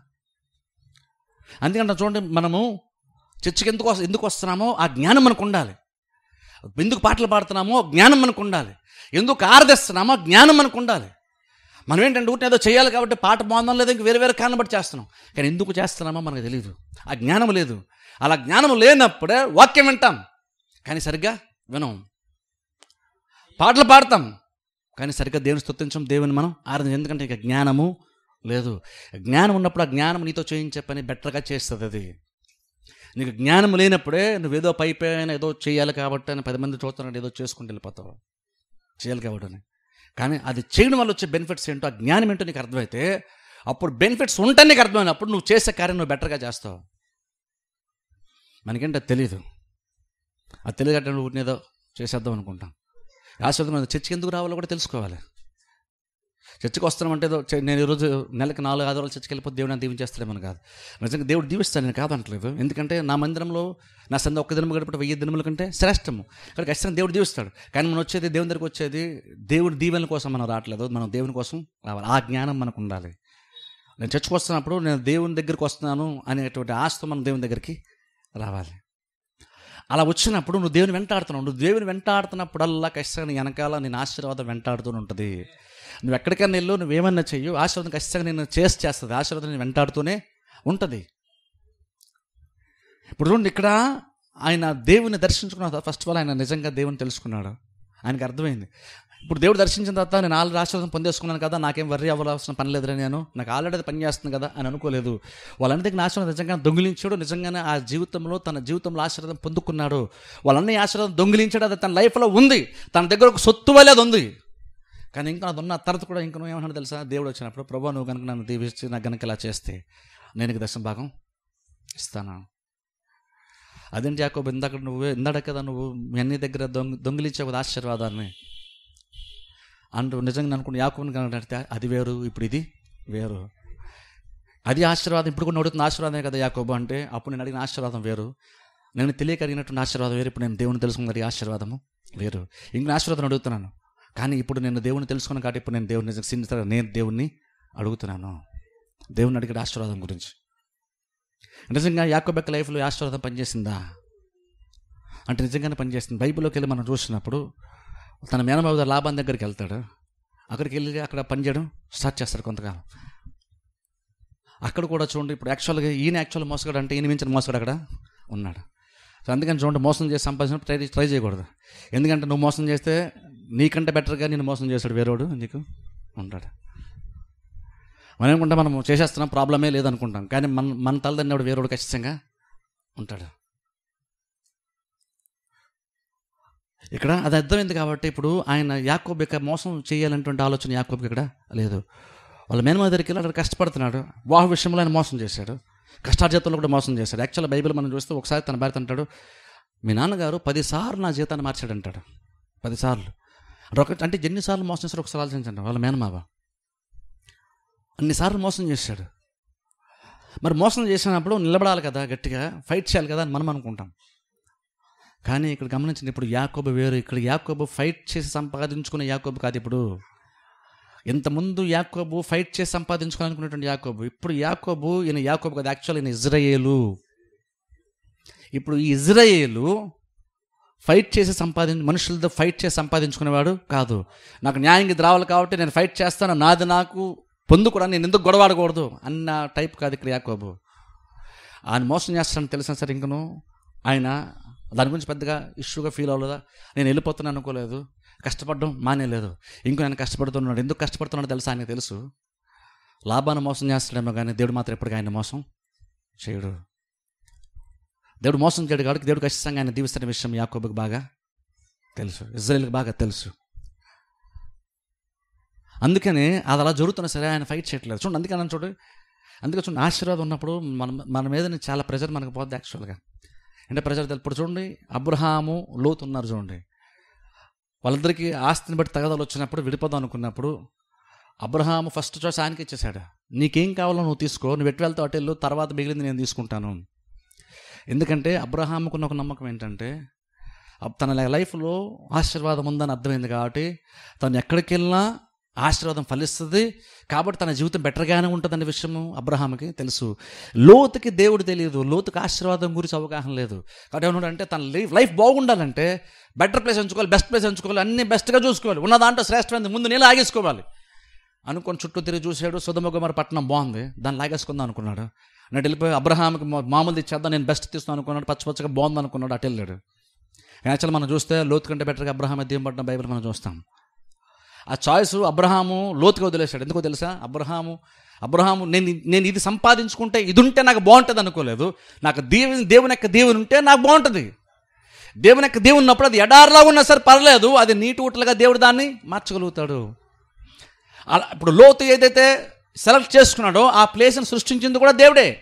ఆ ప్లేస్ని బెస్ట్గా మార్చింది కూడా దేవుడే. ఇప్పుడు ఆ ప్లేస్ తనకి రానంత మాత్రమన ఎవరో తీసుకున్నంత మాత్రాన ఇప్పుడు వేరే ప్లేస్కి వెళ్ళినప్పుడు ఆ ప్లేస్ ఇంకా అలాగ ఉంటుంది అది మారదని కాదు. లోతు ఏదైతే చూసి ఎంచుకున్నాడో దానికంటే బెటర్గా దేవుడు మార్చగలడు. అందుకని అబ్రహం ఎప్పుడు కూడా ఫస్ట్ దానికి ఇచ్చాడు నువ్వు తీసుకొని నీకేం కావాలో మిగిలిందే నేను తీసుకుంటాను. మీరు బైబిల్లో యాక్చువల్గా మీరు చూడండి యాకో గురించి చదవండి. యాకోడు ఎగ్జాక్ట్ అలాగ ఉంటాడు యాకో పెద్దగా ఫైట్ చేయలేదు. నాకు అది కావాలి నాకు ఇది కావాలి యాకోబు ఫైట్ చేయలేదు. ఆ తర్వాత ముందు ఫైట్ చేశాడు. యాకోబు ఉన్నప్పుడు ఫైట్ చేశాడు. ఎందుకంటే మన మనం డిమాండ్ చేస్తేనే మనకు వస్తుంది అనుకున్నాడు. కానీ తర్వాత నాకు అర్థమైంది లైఫ్ అలా పనిచేయదు గొడవలు ఆడుకొని డిమాండ్ చేసుకుంటే జీవితంలో మనకు రావాల్సిన మనకి రావు. ఫైట్ చేయడం మానేసి దేని మీద ఆధారపడితే బాగుంటుంది అనుకున్నాడు. ఫైట్ చేయడం మానేశాడు. అంత పెద్దగా వాళ్ళని మోసం చేసినటువంటి యాకోబు. ఇప్పుడు ఫైట్ అసలు పోరాడడం గురించి ఆలోచించాడు క్వశ్చన్ చేయడం గురించే మాట్లాడడం మానేసి దేవుని యొక్క దేవుని ఉంటే చాలా జీవితం సుఖంగా వెళ్ళిపోద్ది అనుకున్నాడు. నిజంగా అలాగనే యాకోబుని దేవుడు నిజంగా అలాగనే దీవించాడు. వాళ్ళ మేనమావ పదిసార్లు నొక్కేరని ట్రై చేస్తూ వచ్చాడు చాలాసార్లు. నీకు ఇది నాకు ఇది అనేవాడు తర్వాత మరి మాట మార్చేస్తాడు అలాగే ఎన్నోసార్లు చూడండి పదిసార్లు మార్చేసాడని స్వయంగా అని చెప్తాడు. అలాగనే ఆయన మీద కూడా ద్వేషం పెట్టుకోలేదు ఎందుకో తెలుసా? ద్వేషించాల్సిన అవసరం నాకు లేదు. ఎందుకంటే నాకు నాకు ఆయన చేసే నష్టం కంటే దేవుడు చేసే లాభం నాకు చాలా ఎక్కువ ఉంటుంది. కాబట్టి నాకు పెద్దగా నష్టమేమి రానప్పుడు ఈ నష్టపరిచాడు కానీ నాకు పెద్ద నష్టమేమి రాదు. ఎందుకంటే ప్రతిదీ దేవుడు చూసుకుంటాడు అనుకున్నప్పుడు నాకు నష్టం రాదు అనుకున్నప్పుడు నేనేదో నష్టపోయాను అన్న ఫీలింగ్తో నేను ఎందుకు ఫైట్ చేయాలి? నేను నష్టపోయానంటే నిజంగా నష్టపోయాను. నేను మోసపోయాను నిజంగానే మోసపోయాను. పదిసార్లు నా శాలరీని మార్చేశాడు కాబట్టి ఖచ్చితంగా నాకు నష్టం వచ్చింది. మోసం జరిగింది నన్ను మోసం చేశాడు. కానీ నిజంగా నష్టం అయితే మాత్రం ఆయన నాకు తేలాడు. ఎందుకంటే ఆ నష్టాన్ని కూడా దేవుడు పోడ్చగలుగుతా పోడ్చగలుగుతాడు. దేవుడు దాన్ని కూడా నింపుతాడు. ఆశ్చర్యంతో దేవుడు నింపినప్పుడు ఎంత కష్టం ఎంత ఎంత లోటైనా సరే అది తీరిపోతుంది. అది అర్థమైంది కాబట్టి ఫైటింగ్ చేయడం మానేశాడు ఆయన. డిమాండ్ చేయడం మానేశాడు. దేవుని మీద ఆధారపడడం స్టార్ట్ చేశాడు. అప్పుడు చూడండి నిజంగా ఆయన లైఫ్ ఎంత ప్రెజర్ పోయిందో ఒకసారి ఆలోచించండి నిజంగా. అప్పుడు అలా అన్నీ అలా అన్నీ ఏమైనా చంపేస్తాడేమన్నటువంటి ప్రెషర్తో ప్రాణాలు కాపాడుకోవడానికి పారిపోయాడు. అంత ఒత్తిడికి గురి గురైనటువంటి జీవితము దేవుని నమ్మిన తర్వాత దేవుని కుటుంబం గురించి ఆలోచించాడు ఇప్పుడు. ఇంకా ఏమి లేకముందు ఒట్టి చేతులతో వెళ్తున్నాడు. ఒట్టి చేతులు వెళ్తూ కూడా దేవుని కూడా గురించి ఆలోచించాడు. అంటే అర్థంటే దేవుని యొక్క దీవెన ఇప్పుడు నాకు ఉంది ఇప్పుడు నిజంగా నేను ఇవ్వడం గురించి ఆలోచించాను ఎందుకంటే దేవుడు నాకు ఇస్తాడు. ఇప్పుడు ఇప్పటివరకు లాక్కునేటువంటి వాడు ఇప్పుడు ఇవ్వడం స్టార్ట్ చేసేస్తాడు ఇవ్వడం గురించి ఆలోచించడం స్టార్ట్ చేశాడు? ఎందుకంటే ఇప్పుడు ఆయనకు అర్థమైంది. మనం ఓ లాక్కుందాం సంపాదించుకొని ట్రై చేసిన ట్రై చేసినంత మాత్రం మనకు అది ఇది కూడా రాదు. కానీ దేవుడు ఇవ్వాలనుకున్నప్పుడు నువ్వు వద్దనుకున్న సరే దేవుడు నీకు తీసుకొచ్చేది నీకు ఇస్తాను ఎందుకంటే నీకు వచ్చి నీకు ప్రాప్తిస్తాయి అవి. నేను వెనకాల వచ్చి నీ మీదకి అంటే అవన్నీ కూడా. దేవుడు వాటిని ఇస్తాడు. అది అర్థమైంది కాబట్టి ఇక్కడ నుండి ఫైట్ చేయడం మానేశాడు. ఇప్పుడు ఫైట్ చేయడం మానేసంటే అది ఏం చెప్తుందంటే ఆయనలో ఉన్న చాలా ప్రెషర్ అది తీసేసింది ఆయనకి. ఇప్పుడు ఒత్తిడి లేదు ఎలా పైకి రావాలని ఒత్తిడి లేదు. ఎందుకంటే ఆ ప్రెషర్ ఇప్పుడు దేవుంది ఒక రకంగా చెప్పాలంటే. అది ఆశీర్వాదం ఎందుకంటే సామర్థ్యం అది ఇస్తుంది కాబట్టి. ఎవరైనా ఎంత వెనకలాగాలని చూసినా సరే మనుషులు వాళ్ళ యొక్క సామర్థ్యంతో నన్ను వెనుక లాగుతున్నప్పుడు దేవుడు నన్ను తన సామర్థ్యంతో నన్ను పైకి తీసుకుని రావాలనుకున్నప్పుడు మనుషుల యొక్క సామర్థ్యం కంటే దేవుని యొక్క సామర్థ్యం చాలా చాలా బలమైంది కాబట్టి వాళ్ళు ఒకడు వెనకలాగుతారేమో కానీ దేవుని యొక్క సామర్థ్యం నాలో పనిచేసినప్పుడు నేను పదడుగుల పైకి వస్తాను. అందుకు ఆశీర్వదింపడం చూడండి మీరు ఎంత నొక్కాలని చూసినా సరే వాళ్ళు బాగానే బతుకుతారు. ఎంత మోసం చేయాలని చూసినా సరే వాళ్ళు ఎంత కీడు చేద్దాం చూసినా సరే ఖచ్చితంగా వాళ్ళు బాగానే బ్రతుకుతారు. ఎందుకంటే ఆశీర్వాదము అంత బెటర్గా వాళ్ళ లైఫ్లో పనిచేస్తుంది. అందుకని ఆశీర్వదింపడేటువంటి వాళ్ళని వాళ్ళతో జాగ్రత్తగా ఉండాలి మనం. నువ్వు పొరపాటున ట్రై చేసావు అనుకో వాళ్ళు ఇంకా పైకి దేవుడు తీసుకొస్తాడు. దేవుడు పైకి తీసుకొస్తాడు. అందుకనే ఒక వ్యక్తి దీవెన పట్టడం తెలిసినప్పుడు నాకు లాంటి దీవెన వస్తే బాగుండ బాగుంటుంది అనుకుని అలాంటి సహవాసం చేయాలి కానీ అలాంటి లేదు చేద్దాం కీడు చేద్దాం నొక్కేద్దాం. మనకంటే ఎప్పుడైతే అలాగా చెడుగా మనం ఆలోచన స్టార్ట్ చేస్తామో వాళ్ళు ఇంకా దేవుడి పైకి తీసుకొస్తారు. ఎందుకంటే జీవితంలో ఆశీర్వాదం పనిచేస్తాను విషయం దేవుడు ప్రూవ్ చేసుకుంటాడు. లాభాను అనేక రకాల ట్రై చేస్తున్నాడు. కానీ ఎంతకంతకు దేవుడు ఇంకా యాకోబుని పైకి తీసుకొస్తూనే వచ్చాడు. ఎంత పైకి తీసుకొచ్చాడు యాకోబుని అడిగితే మనందరూ తెలుసు. విస్తారమైన గుంపుగా దేవుడు చేశాడు. ఓ టైం వచ్చినప్పుడు ఆశీర్వాదం పడిన వ్యక్తి పుట్టింటికి వెళ్దాం అంటున్నాడు. వాళ్ళ ఇంటికి వాళ్ళ తండ్రి గారి ఇంటికి వెళ్దాం అనుకున్నాడు. బయలుదేరుతాడు కానీ ఎక్కడో కొంచెం భయం ఆయనకి. వాళ్ళన్నీ మైండ్ సెట్ ఎలాగున్నా ఉంటుందో ఇప్పుడు నేను వెళ్తున్నాను నా దగ్గర డబ్బు అయితే ఉంది. పనులు బలమంది ఉన్నారు పశువులు సంపద చాలా నా దగ్గర ఉంది. కానీ మనీ మైండ్ సెట్ ఏంటో నాకు తెలియదు ఇప్పుడు ఆయన ఎలా రియాక్ట్ అవుతాడు? ఇప్పుడు ఆ ప్రెషర్ పట్టుకుంది దీనికి. అందుకే చూద్దాం చూడండి ఒకసారి బైబిల్లో అది కూడా ఒకసారి చూద్దాం. ఆది ఖండంలోనికి వెళ్దాం. ఆది ఖండము ముప్పై రెండు అధ్యాయం ఆది కాండ ముప్పై రెండు అధ్యాయము. చూడండి ఇరవై రెండవ వచ్చిన చదువుతాను చూడండి. అది కాండ ముప్పై రెండు అజం ఇరవై రెండవ వచ్చినండి ఆ రాత్రి అతడు లేచి తన ఇద్దరు భార్యలను తన ఇద్దరు దాసులను తీసుకొని పదకొండు మంది పిల్లలను తీసుకొని ఎబ్బోకు రే రేవు దాటిపోయాను. యాకోబు వారిని తీసుకొని ఆ ఏరు దాటించి తనకు కలిగినదంతయు పంపివేశాను. యాకోబు ఒక్కడే మిగిలిపోయాను. ఒక నరుడు తెల్లవారు వరకు తెల్లవ అతనితో పెనుగులాడాను. తాను అతని పెనుగులాడుట చూచి తొడ గూటి మీద అతన్ని కొట్టాను. అప్పుడు అతడు ఆయనతో పెనుగులాడుట వలన యాకోబు తొడ గూడు వసిలేను.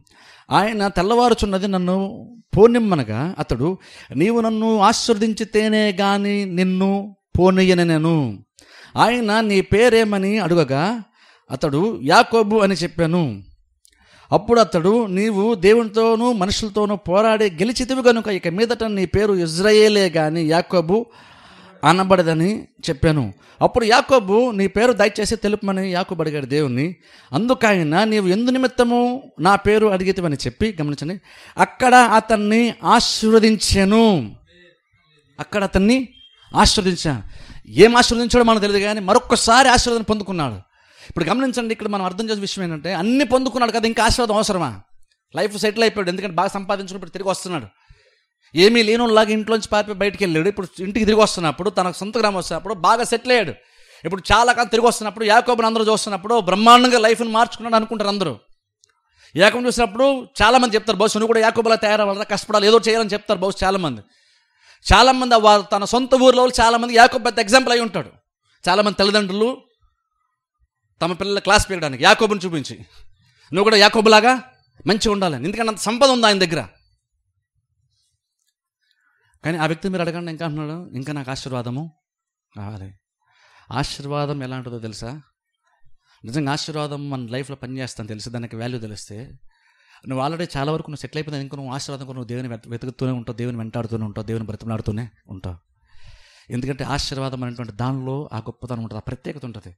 అదే నువ్వు ఎంత సంపాదించుకున్నా సరే ఇంకా ఏదో కావాలి. ఏదో కావాలంటే భౌతికంగా ఏదో సంపాదించేసుకోవాలని శరీర సంబంధమైనటువంటి ఒక ఆశ దురాశ కాదు అది.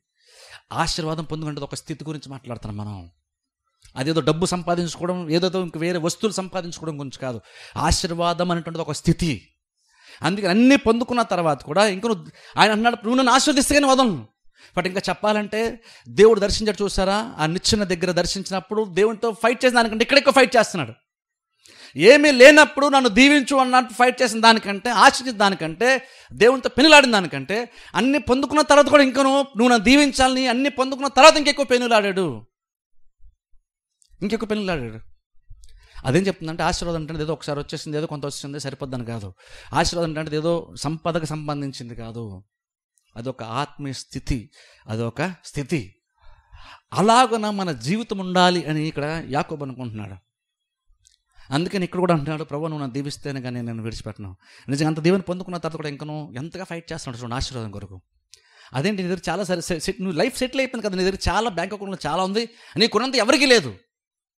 నువ్వు రెండు గుంపులుగా నువ్వు తిరిగి పంపిస్తున్నావు సంపద అంతానే పంపిస్తున్నావు. ఆ రెండు గుంపులు ఒక గుంపును ఒక దొంగలు కొట్టేస్తున్న ఇంకో గుంపుతో కూడా నీ లైఫ్ బాగానే గడిచిపోద్ది. అంత సంపాదించుకున్నావు. ఇంకా నీకు ఆశీర్వాదం ఏంటి అని దేవుడు అనలేదు. ఇంకా నీకు ఆశ ఏంటి? ఇంకా నీకు దురాశ ఏంటి అని దేవుడు అనలేదు. అంటే అర్థం ఏంటంటే ఒకవేళ నువ్వు నిన్న దేవుని ప్రభా నన్ను ఆస్వాదించి ప్రభా నువ్వు నన్ను దేవుని అడిగినా సరే మరలా ఈరోజు అడుగు ఈరోజు అడగాల్సిన అవసరం లేదనేమి కాదు. ఆశ్రతకి విలువ తెలిస్తే నువ్వు ఎప్పుడైనా సరే మరలా మరలా అడుగుతూనే ఉంటావు. ప్రభా నన్ను దీవించు. దీవెన అలాంటిది. ఎందుకంటే అది పొందుకున్నప్పుడు ఎక్స్ట్రాగా నీ లైఫ్లో ఏం కార్యాలు సులువుగా జరుగుతాయో ఎలాగ జరుగుతాయో నీకు అర్థమవుతుంది కాబట్టి ఇప్పుడు ఇంకెక్కువ దేవుని యొక్క దీవెన కొరకు వెతుకుతాం. అందుకని అన్నాడు ఇంకా ఏదో కావాలి ఇంకా ఏదో ఉండాలి తనకి స్థితి. అందుకని అన్నాడు నువ్వు నన్ను దీవిస్తేనే కానీ నేను నిన్ను వదలను. ఇంకా ఏ దీవెనంటే నీకు ఇంకా ఏం కావాలి యాకోబు? ఏం కావాలి? అన్నప్పుడు యాకోబెక్క యొక్క మైండ్లో వస్తువులు కానీ ధనము కానీ ఇంకేవో మైండ్లో లేవు. దేవుని యొక్క దీవెన మాత్రమే మైండ్లో ఉంది ఆయనకి. ఏం కావాలి నీకు? అని అడిగితే ఇక్కడ బోసు దేవుడు నాకు ఇది కావాలని బోసు యాకోబు క్లియర్గా చెప్పలేడు. కానీ ఒకటి చెప్తాడు ఏంటంటే నాకు మాత్రం నీ దీవెన నాకు కావాలి. ఇక్కడ మీరు గమనించారా? లైఫ్లో ప్రతి ఇంపార్టెంట్ సిచ్యువేషన్స్లో దేవుడు యాకోబుని తానే దర్శించాడు. తెలుసా? యాకోబు దేవుని వెతకలేదు. యాకోబు దేవుని వెతకలేదు. అక్కడ అన్ని అన్ని దగ్గర మోసం చేసి ఆశీర్వాదం సంపాదించుకొని వచ్చేస్తున్నప్పుడు కూడా దేవుని కోసం ఎదురు చూడనటువంటి ఒక వ్యక్తిని దేవుడు దర్శించాడు. దేవుడు దర్శించి ఒక దర్శనాన్ని ఇచ్చాడు. బేసిక్గా దర్శనం ఎందుకు దేవుడు ఇచ్చాడు తెలుసా? ఆ రోజుల్లో వాళ్ళ దగ్గర బైబిల్ లేదు కాబట్టి. సంఘాలు బోధకులు లేరు కాబట్టి దేవుడు ఆ రోజుల్లో మ్యాక్సిమం వాళ్ళతో మాట్లాడాలంటే వాళ్ళ వాళ్ళకి ఏదైనా తెలియజేయాలంటే మ్యాక్సిమం దేవుడు దర్శనాలు మాత్రమే దర్శనాల ద్వారా మాత్రమే దేవుడు వారితో మాట్లాడగలుగుతాడు. అందుకని దేవుడు ఆ రోజుల్లో వారికి దర్శనాలు ఇచ్చేవాడు. ఎందుకంటే ఆ దర్శనం అనేటువంటిది వాక్యంతో సమానం. ఆ దర్శనంలో దేవుడు ఏం చెప్తున్నాడు?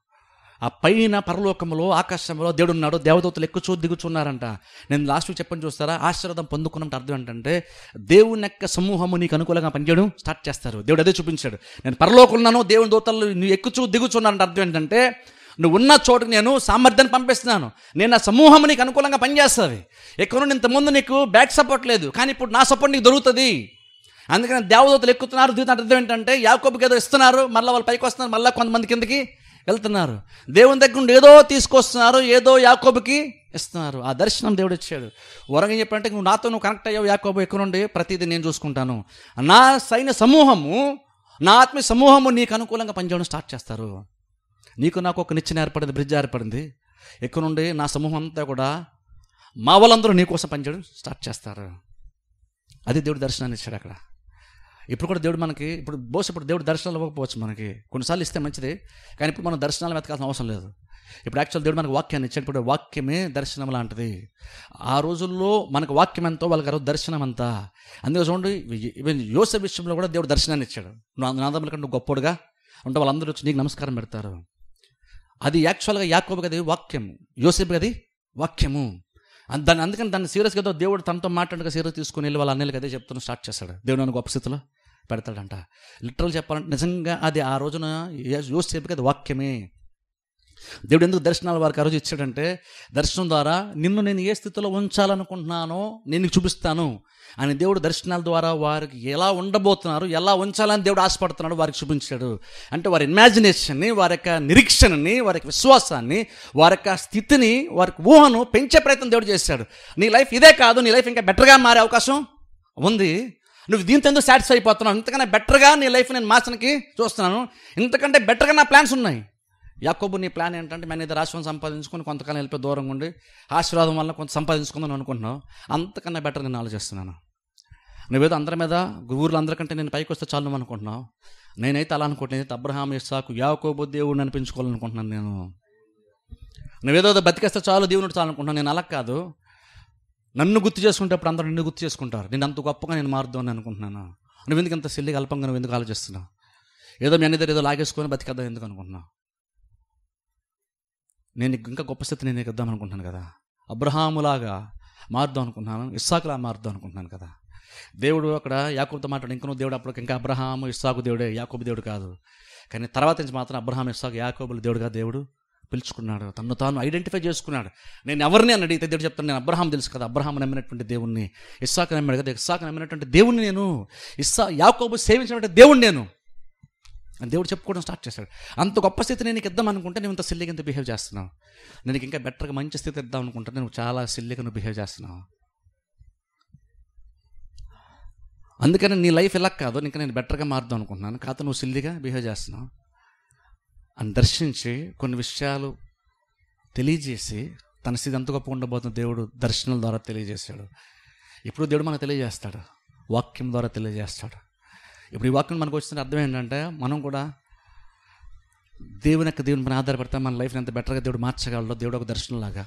అంటే మనం కూడా బెటర్గా మారచ్చు మనం కూడా కొంచెం ఉన్నతంగా బతకచ్చు అనేటువంటి ఒక ఆశను దేవుడు మనలో వాక్యం ద్వారా కలిగిస్తున్నాడు. మనసేపు మన ప్రాబ్లమ్స్ గురించి దేశం యొక్క పరిస్థితి గురించి మాత్రం మనం ఆలోచిస్తూ దాంతోనే మన లైఫ్ని క్యాలిక్యులేట్ చేసుకుంటాం ఎస్టిమేట్ చేసుకొని మనం ఎలా పది సంవత్సరాలకి ఎలా ఉంటామంటువంటిది ఎంతసేపు మన జాబ్ని బేస్ చేసుకొని మన దేశం యొక్క పరిస్థితిని బేస్ చేసుకొని మనం బ్రతుకుతున్నాం. ఎందుకంటే ఇక్కడ నువ్వు నువ్వు బ్రతికేటప్పుడు నీ జీవితం క్యాలిక్యులేట్ చేసుకునేటప్పుడు నీకు వచ్చే సంపాదన క్యాలిక్యులేట్ చేసుకోవద్దు నా ఆశీర్వాదంతో నువ్వు క్యాలిక్యులేట్ చేసుకో నీ జీవితం ఎలా ఉండబోతుందో. నా ఆశీర్వాదంతో అయితే ఇలా ఉంటుంది నీ జీవితం. అని దేవుడు అది అక్కడ యాకోబుకి అది దర్శనంలాగా ఇచ్చాడు ఆ రోజున. అప్పుడు కూడా యాకో వెతుక్కోకుండా దేవుడే దర్శించాడా? ఇప్పుడు కూడా మరలా దేవుడే దర్శించాడు. ఇక్కడ బైబిల్ మనం చూస్తే అందరిని పంపించాడు ఒక్కడ ఉన్నాడట. ఒక్కరు ఉండడం వల్ల బెనిఫిట్ ఏంటో తెలుసా? దేవుడు దర్శిస్తాడు. పది మంది చుట్టూ ఉండి ఎంతసేపు పది మంది గురించి ఆలోచిస్తూ కూర్చుంటాం. మన ముందు ఎంతమంది ఉన్నారో బ్రహ్మాండం అనుకుంటాం. కానీ లోన్లీగా ఉండడంలో కూడా కొన్నిసార్లు అది కొంచెం ఇబ్బంది అనిపించినా చాలా బెటర్గా కొన్నిసార్లు అది ఉంటుంది. ఒక్కడే ఉన్నాడు. చాలా లోన్లీగా ఉన్నాడు. టెన్షన్ ఉంది ప్రెషర్ ఉంది ఆయన బహుశా. కానీ ఆ టైంలో దేవుడు యాకోబుని దర్శించాడు. దర్శించి అక్కడ కూడా మరలా దేవుడు ఆస్వాదించాడు ఇప్పుడు అనుకుంటాం మనం అనుకుంటాం యాకోబు ఏదో ఫైట్ చేసేసాడు ఫైట్ చేసి సంపాదించేసుకున్నాడు అనుకుంటాం. దేవుని తనతో ఫైట్ చేసి నువ్వు ఆశీర్వాదం కోసం నాతో పెనుగులాడు. అని పెనుగులాడే అవకాశాన్ని యాక్చువల్గా దేవుడే అవకాశాన్ని యాకోబుకి ఇచ్చాడు. మనం అనుకుంటామంటే ఏదో యాకోబు ఫైట్ చేశాడు దేవునితోనండి అలాంటోడండి ఇలాంటోడని అనుకుంటాం. కానీ యాకోబు ఫైట్ చేసిన మాట వాస్తవమే.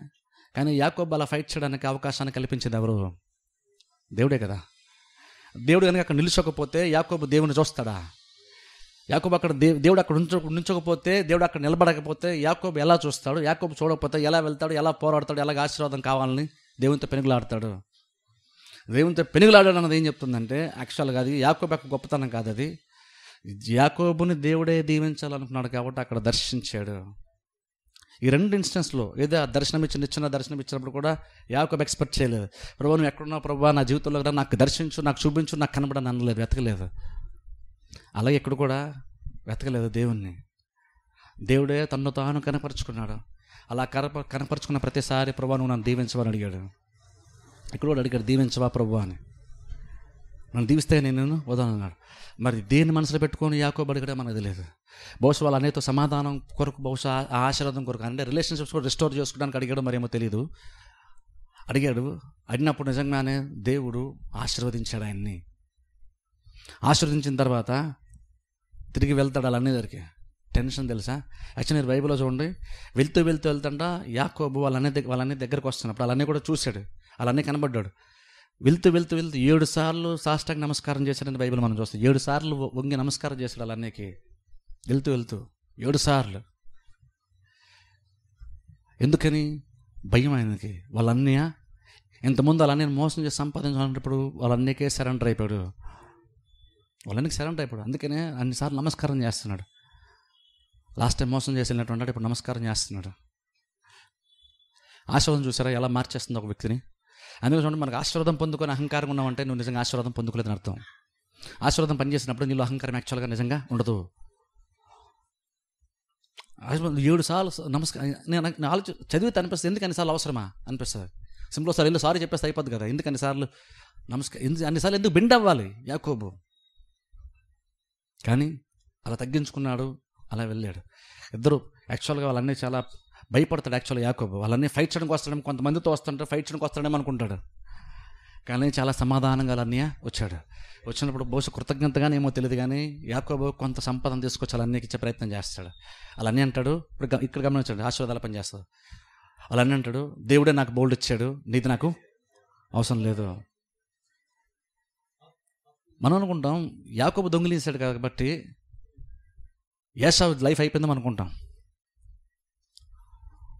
కానీ వాళ్ళన్నీ చంపుదామని ద్వేషించాడు కానీ బహుశా తర్వాత ఎప్పుడు వాళ్ళ తమ్ముని చంపుదామని ద్వేషించాడు కానీ తమ్ముని ద్వేషించిన తర్వాత ఎప్పుడు బహుశా తెలుసుకున్నాడేమో ఏసావను కూడా దేవుడు ఆశీర్వదించాడు. ఎంతగా ఆశీర్వదించాడంటే ఈయన తీసుకొస్తుంటే నాకు అవసరం లేదు నా దగ్గర బోల్డ్ ఉంది నాకు అవసరం లేదు అని చక్క ఇద్దరు కౌగులించుకొని చక్కగా చాలా హ్యాపీగా ఇద్దరు ఫీల్ అయ్యారు. చాలా కొంత చూసుకున్నారు కాబట్టి చాలా హ్యాపీ ఫీల్ అయ్యారు. ఆశీర్వాదం అలా పనిచేసింది. ఇద్దరి మధ్యన గొడవ ఉంది ఆ గొడవను కూడా తీసేసింది. ఆశీర్వాదం. ఆ తర్వాత బైబిల్ మీరు చూడండి ఎన్నో ఎన్నోసార్లు యాకో బ్రతిమలాడంట తీసుకో తీసుకో తీసుకో తీసుకో దేవుడు నాకు ఇచ్చాడు తీసుకో తీసుకో అంటే చివరి చాలాసార్లు బ్రతిమలాడతాడు అన్నటువంటి ఒక కారణం బట్టి చివరికి ఏసావు కొంత తీసుకోడండి ఎందుకంటే పదమూడు బ్రతిమలాడుతున్నాడని. లేక తీసుకోలేదు. లేదు నా ఇదంతా నా ఆశీర్వాదమే కదా ఇదంతా నాదే కదా నువ్వు తీసుకున్నావు కదా నువ్వే ఉంచుకోవాలి అని చేతస్థంగా కూడా మాట్లాడలేదు. ఏసావు కూడా ఆశీర్వదింపడ్డాడు ఈ ఏసావు ఆశీర్వదింపడినటువంటి ఏసావు తెలుసా? నా దగ్గర బోల్డ్ ఉంది నాకు అవసరం లేదులే. యాక్చువల్గా ఆ సంపద అంతా చూసినప్పుడు అనిపించాలి కదా ఇదంతా నా ఆశీర్వాదం వల్ల ఇది సంపాదించుకుంటా అని అనిపించాలి కదా. అది చూసినప్పుడు అల్లా తనకి పాత గుర్తు రావాలి కదా. ఇదంతా నాదే నా ఆశీర్వాదం దొంగిలీసాడు అనిపించాలి. కానీ ఆశీర్వాదం చూడండి ఇద్దరు వ్యక్తుల యొక్క జీవితాలు ఎలా పనిచేస్తుంది ఒకసారి చూడండి. కోపంతో ఉంటాడేమో మన ద్వేషిస్తాడేమో అనుకుని భయం భయంగా ఉన్నటువంటి వ్యక్తి. ఆశ్రదం ఆశ్రదం బడి కూడా ఇంకను వాళ్ళ అన్నయ్య ఏమని అంటాడేమో చంపేస్తాడంటారు భయంతో అంటే వ్యక్తి. ఆశీర్వాదం మోసపోయి ఆశీర్వాదం పొందుకున్నటువంటి మరో వ్యక్తి కూడా చూడండి ఎంత సమాధానం ఉన్నాడు. నాకు అవసరం లేదు నాకే బోల్డ్ దేవుడు ఇచ్చాడు కదా అన్నాడు. ఇప్పుడు చూడండి, నిజంగా చూడండి అంటే అర్థం ఏంటంటే నిజంగా దేవుని యొక్క మైండ్ సెట్ ఏంటి? దేవుడు ఆశీర్వదించడానికి ఇష్టపడ్డాడు. తన తండ్రి ద్వారా ఆశీర్వదించడానికి ఇష్టపడ్డాడు. నిజంగానే యాకోబు మోసం చేశాడు అన్నీ కానీ ఇంకను మోసపోయిన తర్వాత ఇంకనూ ఏషావు బహుశా దేవుని మీద డిపెండ్ అయి ఉంటాడు. అందుకనే ఏషావును కూడా దేవుడు ఆస్వాదించాడు అదేం చెప్తుందంటే దేవుడు ఎవరో ఒకరినిద్దరిని మాత్రం ఆస్వాదించడానికి ఇష్టపడుతున్నాడు కాదు. దేవుడు అందరిని ఆస్వాదించడానికి దేవుడు ఇష్టపడుతున్నాడు. చాలామంది ఏమంటారంటే ఖచ్చితంగా ఈ లోకంలో పేదలు ఉండాలంటే పేదలు ఉంటేనే డబ్బులు ఉంటారు. సొసైటీ రన్ అవ్వాలంటే ఫైనాన్షియల్గా రన్ అవ్వాలంటే కొంతమంది పేదలు కూడా ఉంటేనే రన్ అవుతుంది. అప్పుడే డబ్బుకి విలువ ఉంటుంది అంటారు. అందరి దగ్గర డబ్బు ఉంటే అప్పుడు దేశం ఆర్థికంగా పడి వెనుకబడిపోద్ది అంటారు యాక్చువల్గా కానీ అది బహుశా మనుషుల యొక్క జ్ఞానం అంతవరకు ఆలోచిస్తుంది. కానీ దేవుడు అయితే చాలా గొప్పగా ఆలోచిస్తాడు దేవుడు ఏమనుకుంటే తెలుసా? దేవుడు అందరిని దీవించడానికి ఇష్టపడుతున్నాడు. యాషావుని దీవించాడు అలాగనే యాకోబుని కూడా దేవుడు దీవించాడు. అంటే అర్థం ఏంటంటే ఫస్ట్ ఆఫ్ ఆల్ నువ్వు దేవునితో కట్టుకున్నావు లేదో చూసుకో. అతను మనుషులతో కట్టుకున్నావు లేదో చూసుకో. ఆ రెండు కట్టుకుంటే ఖచ్చితంగా దీవెనలు నీకు వచ్చి నీకు ప్రాప్తిస్తాయి అందుకు ఒకసారి చూడండి దేవుని యొక్క ఆశీర్వాదం ఒకసారి మనం దాని మీద మైండ్ మనం ఫోకస్ చేయాలి ఒకసారి. మనం కష్టపడుతున్నాం చాలామంది. కష్టపడుతున్నాం కానీ ఆశీర్వాదం గురించి ఆలోచించట్లేదు. కష్టార్జితమైన ఆహారం తింటున్నావు నువ్వు తిన్న తర్వాత కూడా దేవుడు అంటున్నాడు అది వేస్ట్ కదా. నువ్వు తిన్నావు సరే నీ కడుపు నిండింది కరెక్టే కానీ అది వేస్ట్ అది. నువ్వు అంత కష్టపడాల్సిన అవసరం నీకు? లేదు. నువ్వు కనుక నా దగ్గరకు వచ్చి నన్ను అడిగితే నేను దీవించేవాను కదా. ఆ దీవంతో నువ్వు వెళ్ళి పనిచేస్తే నువ్వు ఇలా గొడ్డు చాకరి చేయాల్సిన అవసరం నీకు ఉండదు. దేవుడు అంటున్నాడు. ఇప్పుడు చూడండి అంటే అంటే అర్థం ఏంటంటే నీ జీవితం పైకి రావాలి నువ్వు కష్టపడుతున్న దానికంటే నువ్వు ఎలా పైకి వస్తావో దేవుడికంటే ఒక ఉద్దేశం ఉంది ఒక ఆ- ఆలోచన ఉంది ఒక ప్రణాళిక దేవుని దగ్గర ఉంది. దాన్ని దేవుడు అమలుపరచడానికి ఇష్టపడుతున్నాడు. దాన్ని దేవుడు తెలియజేయడానికి ఇష్టపడుతున్నాడు. ఆ సింపుల్ మనం అర్థం చేసుకోవడం ఇది అది అర్థం చేసుకొని దేవుని యొక్క ఆశీర్వాదానికి మనం ప్రాధాన్యత ఇవ్వాలి. దేవుడు దీవించడానికి ఇష్టపడుతున్నాను అర్థం చేసుకోవాలి. నువ్వు సేవించే దేవుడు నువ్వు ప్రతిసారి తెచ్చుకోవచ్చు నువ్వు పాటలు పాడుతూ నువ్వు ప్రార్థన చేస్తూ ఎవరు స్వరుండితో దేవుని యొక్క వాక్యాన్ని వింటున్నావో ఆ దేవుడు దీవించేటువంటి దేవుడు అనే విషయం మనకు అర్థం కావాలి. అది అర్థమైతే అప్పుడు మనం దేవుని యొక్క దీవెన కొరకు మనం ఆశపడతాం. నిజంగా చూడండి మనం చూడండి నిజంగా దేవుడు దీవించడం అర్థమైతే నేనేమంటుంది ఎంత కష్టపడడానికి ఇష్టపడతావు నువ్వు? అది ఇంపార్టెంట్ ఇప్పుడు నువ్వు మామూలుగా ఎంత కష్టపడతావు చెప్పట్లేదు. ముందు నేనేమని తెలుసా అసలు కష్టం మీద మనం డిపెండ్ అవ్వడదని చెప్పాను చూసారు ఇప్పుడు అంటున్నాను. దేవుని యొక్క దీవెన నీ లైఫ్లో పనిచేస్తుందని నీకు అర్థమైతే అది అర్థం చేస్తావు నువ్వు ఎంత కష్టపడ్డా నువ్వు రెడీ ఉన్నావు.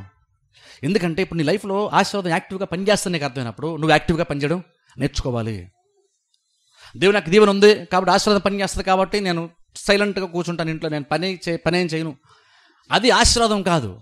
ఆశీర్వాదం నువ్వు అర్థం చేసుకుంటే దేవుని అర్థం చేసుకుంటే నువ్వు అలాగ జీవి నీ లైఫ్ స్టైల్ అలా ఉండదు.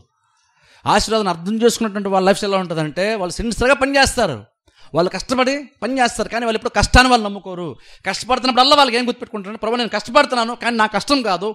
నీ దీవెన మాత్రమే నాకు ఐశ్వర్యాన్ని ఇస్తుంది. కష్టపడుతున్నప్పుడు కూడా ఆలోచన రావాలి మనకి. అంటే అంతగా నువ్వు ఆశీర్వాదం మీద నీ మైండ్ వెళ్ళాలి. నువ్వు డ్యూటీలో పని చేస్తున్నప్పుడు కూడా నువ్వు చాలా కష్టపడి పని చేస్తున్నప్పుడు కూడా నీ పై అధికారి నీకు చాలా ఎక్కువ ఒత్తిడి ఇచ్చి ఎక్కువ పని అప్పచెప్పిన తర్వాత కూడా ఆ పని చేస్తున్నప్పుడు ఏం గుర్తు రావాలంటే నేను పని చేస్తున్నాను పర్వ కానీ నీ ఆశీర్వాదం నాకు ఐశ్వర్యాన్ని ఇవ్వాలి. నేను కష్టపడుతున్నాను కానీ నీ దీవెన నాకు మెయిన్గా అవసరం. ఎప్పుడైతే నువ్వు కష్టపడుతున్నప్పుడు కూడా నువ్వు ఆత్మీయంగా ఉండి ఆశీర్వాదం గురించి ఆలోచన స్టార్ట్ చేస్తావో అంత ఎక్కువగా ఆశీర్వాదం నీ జీవితంలో వాస్తవంగా మారుతుంది.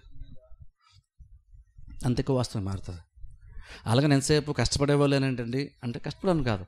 మన ఎంత దీవెన సరే ఇంక నువ్వు ఇక్కడ చూడండి యాకోబు అంత సంపాదించుందా ఇంక నువ్వు దేవుని యొక్క దీవెన కొరకు పెనుగులాడాడు దేవునితో. దేవుడు సరిగ్గా తొడ మీద కొట్టాడట. అంత కొట్టాడు. అంతగా బలంగా దేవుడు కొట్టాడు. ఎందుకు కొట్టాడు అంటే దీవెన అంత అవసరమైంది దానికి. దాని కొరకు దేవుడు నువ్వు వదులు వదులు అన్నా సరే వదలలేదు. దేవుడికి అర్థమైంది నేను ఊరినే నన్ను పట్టుకుంటున్నాడు నన్ను బ్రతిమలాడుతున్నాను కాదు. ఆశీర్వాదం మీద ఆయనకు ఆశ. నేను దీవించే దేవుడు నేను అర్థమైంది కాబట్టి నేను నేను తన తాను నేను తనకు దర్శించుకున్నాను కాబట్టి ఇది మంచి అవకాశం అనుకోని ప్రభా నువ్వు వచ్చావు కదా అలాగో నన్ను దీవించవా అని నన్ను బ్రతిమలాడుతాడు అర్థమయ్యి దీవించేసాడు దేవుడు. ఇప్పుడు చూడండి. ఫస్ట్ ఆఫ్ ఫస్ట్ దర్శించినప్పుడు కూడా దేవుడు ఈజీగా దీవించాడు కష్టపడిన దేవుడు దీవించాడు. డిఫరెన్స్ ఏంటంటే దేవుడు దీవిస్తాను అర్థమైతే వేయించడానికి నువ్వు రెడీగా ఉన్నావు? అది ఇంపార్టెంట్ ఇక్కడ. దేవుడు దీవించేవాడు అన్న విషయం వాస్తవం అయితే నువ్వు దేనికి రెడీగా ఉన్నావు అనేది చాలా చాలా ఇంపార్టెంట్. ఎందుకంటే చూడండి మనం కష్టపడతాం. కష్టపడతాం మంచిదే. కానీ ఎంతసేపు కష్టం మీద నమ్మకం పెట్టుకోకండి. కష్టంతో పైకి వచ్చేస్తాం అనుకుంటే జీవితాంతం మనం కష్టపడుతుంటాం కానీ నీ కష్టము ఎప్పుడు కూడా నీకు అధికంగా ప్రయోజనాన్ని నీకు తేనే తేదు. కానీ దేవుని యొక్క దేవుని చూసారా? ఆ దేవుని యొక్క దేవుని నీకు చాలా ఆశీర్వాదం నీకు చాలా సామర్థ్యాన్నది ఇస్తుంది. నీకు సామర్థ్యం ఆశీర్వాదం నీకు సామర్థ్యాన్ని ఇచ్చిందంటే అర్థం ఏంటంటే ఆ సామర్థ్యం నీకు చాలానే ఇస్తుంది నీకు కెపాసిటీ పెరిగింది. ఇప్పుడు బహుశా నీకు ఆలోచించే కెపాసిటీ పెరిగింది కష్టపడే కెపాసిటీ పెరిగింది నువ్వు బెటర్గా పనిచేసే కెపాసిటీ నీకు పెరిగింది. నీకు బెటర్గా పనిచేసే కెపాసిటీ పెరిగినప్పుడు ఆటోమేటిక్ వచ్చే కెపాసిటీ కూడా ఎక్కువగానే ఉంటుంది. ఇన్కమ్ సోర్స్ ఎక్కువగానే ఉంటుంది.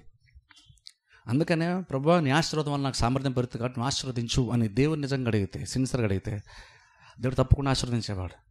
కాకపోతే ఏంటంటే మనం ఆ దేవుని యొక్క దేవుని మీద నిజంగా ఎంత సిన్సియర్గా మనం ఉన్నాము ఎంత సిన్సియర్గా మనం దేవుడిని నిజంగా అడుగుతామో చాలా చాలా ఇంపార్టెంట్ ఊరిని ఏదో పాస్టర్ గారు చెప్పారు ఏదో అడగమన్నారు కదా ఏదో ప్రభా ఒకసారి దీవించు ప్రభు నన్ను ఆశీర్వదించు ప్రభా. అని జస్ట్ అన్నిటిం కాదు ఒక కన్విక్షన్తో అడగటం. నువ్వు నిజంగా కనుక నమ్మిడితే నువ్వు అడిగే విధానంలో నీకు తెలిసిపోద్ది. ఎవరు తెలిసినా తెలియపోయినా నీకు తెలిసిపోద్ది నువ్వు చేసేది ఏంటో. నువ్వు సిన్సియర్గా అడిగావా? ఊటిని ఏదో జస్ట్ ప్రసంగం చేదో చిన్న మోటివేషన్ లాగా వచ్చేది పైన ప్రభా నన్ను కూడా- ఏదో అడిగితే దేవుడు ఇస్తాడంట అని ప్రభా నన్ను కూడా దీవించు. అది నిజంగా అర్థం చేసుకుని ఇది నిజంగా మైండ్లోకి వెళ్ళిపోతే ఇది నిజంగా హృదయంలో నాటబడితే నువ్వు దీవెన గురించి అడిగేటప్పుడు నీ కన్విక్షన్ వేరుగా ఉంటుంది. నువ్వు అడిగే విధానం వేరుగా ఉంటుంది. నువ్వు కన్విక్షన్తో అంటే ఒక ఒప్పుదలతో లోపల నీకు అది అడుగుతున్నప్పుడు నీకు లోపల ఏదో అయిపోద్ది నీకు. అంటే ఒక రకమైనటువంటి పట్టుదల లాంటి ఒక స్థితి నీకు వచ్చేస్తుంది. అది కంపల్సరీగా నాకు ఉండే తీరాలి లేకపోతే నా లైఫే లేదన్నట్లుగా అడుగుతాం దేవుణ్ణి. యాకోబు అలాగనే రెండోసారి అడిగాడు. దేవుడు వద్దు నన్ను పోనీ పోనీ తెల్లారి నన్ను పోనీ పోనీ అన్నా సరే వదలలేదు దేవుణ్ణి. అంత గట్టిగా పట్టుకున్నాడు. దేని కొరకు అంటే ఆశీర్వాదం కోసం. మరి నిజంగా ఒక ఒక విశ్వాస కనుక అంత గట్టిగా దేవుణ్ణి పట్టుకుంటే దేవుడు ఆశీర్వదించుకుంటూ వదిలేస్తాడా? పాయింట్ అది. నిజంగా కనుక సిన్సియర్గా ఒక వ్యక్తి కనుక దేవుని అంతలాగా దీవెని దీవించి ప్రభు అని అంతలాగా అడిగితే ఇది తన కాలుకి గాయమైనా సరే ఇంకను. ఆ బాధ గురించి ఆలోచించుకున్నా అయినా సరే పర్లేదు నువ్వు నన్ను దీవించాల్సిందే. దేవుడు అలా దెబ్బ కొట్టినప్పుడు ఆయన ఫిజికల్గా ఆయన కాలు మీద పర్మనెంట్ డ్యామేజ్ చేస్తుంది అది కుంటుకుంటూ వెళ్ళడం బైబిల్ మనం చూస్తాం. కానీ కుంటుకుంటూ వెళ్ళాడేమో కానీ ఆశీర్వాదంతో వెళ్ళాడు ఆయన. కాలు చిన్న గాయమయ్యిందేమో కానీ అంతకంటే గొప్ప ఆశీర్వాదం తన జీవితం పైన పొందుకొని వెళ్ళాడు. అంటే శరీరానికి గాయమైనా సరే పర్లేదు కానీ నాకు దీవెన కావాలి అన్నంతలాగా కష్టపడ్డాడు దేవుని దగ్గర యాకోబు. ఇప్పుడు మనం ఎంత కష్టపడ్డానికి కష్టపడుతున్నాం? దేవుని ఆశీర్వాదం కొరకు. అది నిజంగా ఆశీర్వాదం కొరకు కష్టపడి కష్టపడితే అప్పుడు చర్చకు రావడం నీకు పెద్ద కష్టం అనిపించదు. ప్రార్థన చేయడం దేవుని అడగడం పెద్ద కష్టం అనిపించదు. కూర్చొని వాక్యం వినడం దేవుని ఆరాధించడం స్థుతించడం పెద్ద కష్టం నీకు అనిపించదు. ఎందుకంటే ఎంత కష్టమైనా నేను భరిస్తాను. ఎందుకంటే నాకు దేవుని యొక్క దీవెన కావాలి. ఎంత కష్టమైతే నేను పర్లేదండి వస్తాను. ఇంత కష్టం ఇంతకన్నా ఎక్కువ కష్టమైతే నేను రాలేనండి అంటే అర్థం ఏంటంటే నీకు దీవెన ఇంత గొప్పతో నీకు అర్థము కాలేదు. అది అర్థమైతే నేను ఎంత కష్టపడాలంటే దీవెన పడ్డానికి అని అడగం. దీవెన ఉంది అని అర్థమైనప్పుడు దీవెన కొరకు దేవుడు అరేంజ్ చేశాడని అర్థమైనప్పుడు నేను కష్టపడతాను. ఎందుకంటే దేవుడు నా కొరకు ఆశీర్వాదాన్ని సిద్ధపరిచి నాకు అది కావాలి కాబట్టి కష్టపడతాను అంతే. అలా కష్టపడుకుంటూ ముందుకి వెళ్ళిపోతాం. ఎంత కష్టపడాలి? ఎన్ని రోజులు కష్టపడాలి? ఎంతకాలం చర్చికి రావాలి? అది కాదు. దేవుడు దీవించే వరకు నేను దేవుణ్ణి వదలను. అలాగా నిలబడ్డాడు యాకోబు అన్ని పొందుకున్న తర్వాత కూడా. చివరిగా పొందుకొనే వెళ్ళాడు. అది ఆ లైఫ్లో ఆయన లైఫ్లో పనిచేసింది. ఇద్దరు లైఫ్లో చూడండి ఎలా పనిచేస్తుంది ఆశీర్వాదం. అలాగే దేవుడు ఈరోజు కూడా మనకు వాక్యం ద్వారా దేవుడు అదే మనకు చెప్తున్నాడు. ఎంతసేపు నీ ఉద్యోగంలో నువ్వు చూస్తున్నావు నీ కష్టం చూస్తున్నావు నువ్వు చేతి పని మీద నువ్వు చూస్తున్నావు. దాన్ని బట్టి నీ లైఫ్ ఎలా ఉండబోతుందని నువ్వు నువ్వు ఒక అంచనా వేసుకుంటున్నావు. దాన్ని పక్కన పెట్టేసి అది కాదు నా ఆశీర్వాదాన్ని బట్టి నీ జీవితాన్ని అంచనా వేసుకో. నేను నేను ఎలా చూడాలనుకుంటున్నాను? నేను ఎలా ఉంచాలనుకుంటున్నాను? అది అర్థం చేసుకో. అది అర్థం చేసుకుంటే పొందుకు నా దగ్గరికి ఎలా వస్తావు నువ్వు? ఎన్నిసార్లు వస్తావు? ఎంతవరకు నువ్వు నా దగ్గరికి వస్తావు? నేను చెప్పినంతవరకు చేస్తావు. అలా చేసి చూడండి తప్పకుండా నేను దీవిస్తాను. దేవుడు దీవించేవాడే కాబట్టి దేవుడు కొట్టిన తర్వాత కూడా వదలలేదు. నార్మల్ ఏమనుకుంటాం? నేను ఆశీర్వాదం కోసం వచ్చి అడుగుతుంటే నేను నన్ను కొట్టాడేంటి? వదిలేసి వెళ్ళిపోవచ్చు అలిగి దేవుని మీద. కానీ అలా వెళ్ళలేదు యాకోబు. ఎందుకు తెలుసా? నేనేమైపోయినా పర్లేదు నాకు ఆశీర్వాదం కావాలి. నువ్వు ఎలా ఉన్నా పర్లేదు ఆశీర్వాదం ఒక్కసారి నీ లైఫ్లోకి వచ్చేస్తే నీ మొత్తం స్థితే మారిపోద్ది. అందుకనే నాకు ఏమైనా పర్లేదు. ప్రభా నువ్వు దీవిస్తేనే తప్ప నేను వదలను అని పోరాడాడు పెనుగులాడాడు దేవునితో. దేవుడిచ్చాడు ఆశీర్వాదంతో ఇంటికి వెళ్ళాడు. దేవుడు ఇప్పటికీ కూడా మనల్ని దీవించడానికి ఇష్టపడతాడు. కాకపోతే నువ్వు నువ్వు ఎంత జెన్యున్గా అడుగుతున్నావు ఎంత సిన్సియర్ నువ్వు దేవుని ఆశీర్వాదం కూడా నువ్వు డిపెండ్ అవుతున్నావు. అది ఇంపార్టెంట్ అది అర్థం చేసుకుని నిజంగా సిన్సియర్ దేవుని అడిగితే దేవుడు ఆశీర్వాదకర్త దేవుడు దీవించేటువంటి దేవుడు ఆశీర్వదించే దేవుడు. ఆ రోజున ఆదామును మొట్టమొదటిసారిగా దేవుడు ఆదామును దీవించాడు. ఇప్పటికీ దేవుడు ఖచ్చితంగా దీవిస్తాడు. అబ్రహాముని ఇస్సాకుని యాకోబులు దీవించాడు దేవుడు. వారి దీవెనే వారిని గొప్పవారిగా మార్చింది. దేవుని యొక్క దీవెని వారిని గొప్పవారిగా మార్చింది. ఇప్పుడు అదే దేవుని మనం అబ్రహాము ఇస్సాకు యాకోబులు దేవుడిగా మనం సేవిస్తున్నాం. ఆ దేవుడు ఇప్పటికీ అదే దేవుడు. ఇప్పటికీ మనం దీవించిన దేవుడు ఇస్తాడు. మనల్ని కూడా అబ్రహాం ఇస్సాకులాగా యాకోబులాగా యోసేపులా దేవుడు మనల్ని కూడా మార్చడానికి ఇష్టపడింది ఎందుకంటే దేవుడు అదే ఆడ ఎప్పటికీ మారడు. నేను మాడన్నాడు కాబట్టి నేను ఆ దేవుడిని చెప్పుకుంటున్నాడు. ఎందుకంటే నేను అప్పుడిప్పుడు ఒకడే నేను ఇంకా ఏమీ మారలేదు. ఇప్పుడు మోడర్న్ డేస్లోకి వచ్చాం కాబట్టి ఇప్పుడు అందరూ ఉద్యోగాలు మనీ కరెన్సీ ఇవన్నీ వచ్చినాయి కాబట్టి ఇప్పుడు మారిపోయినాను కాదు.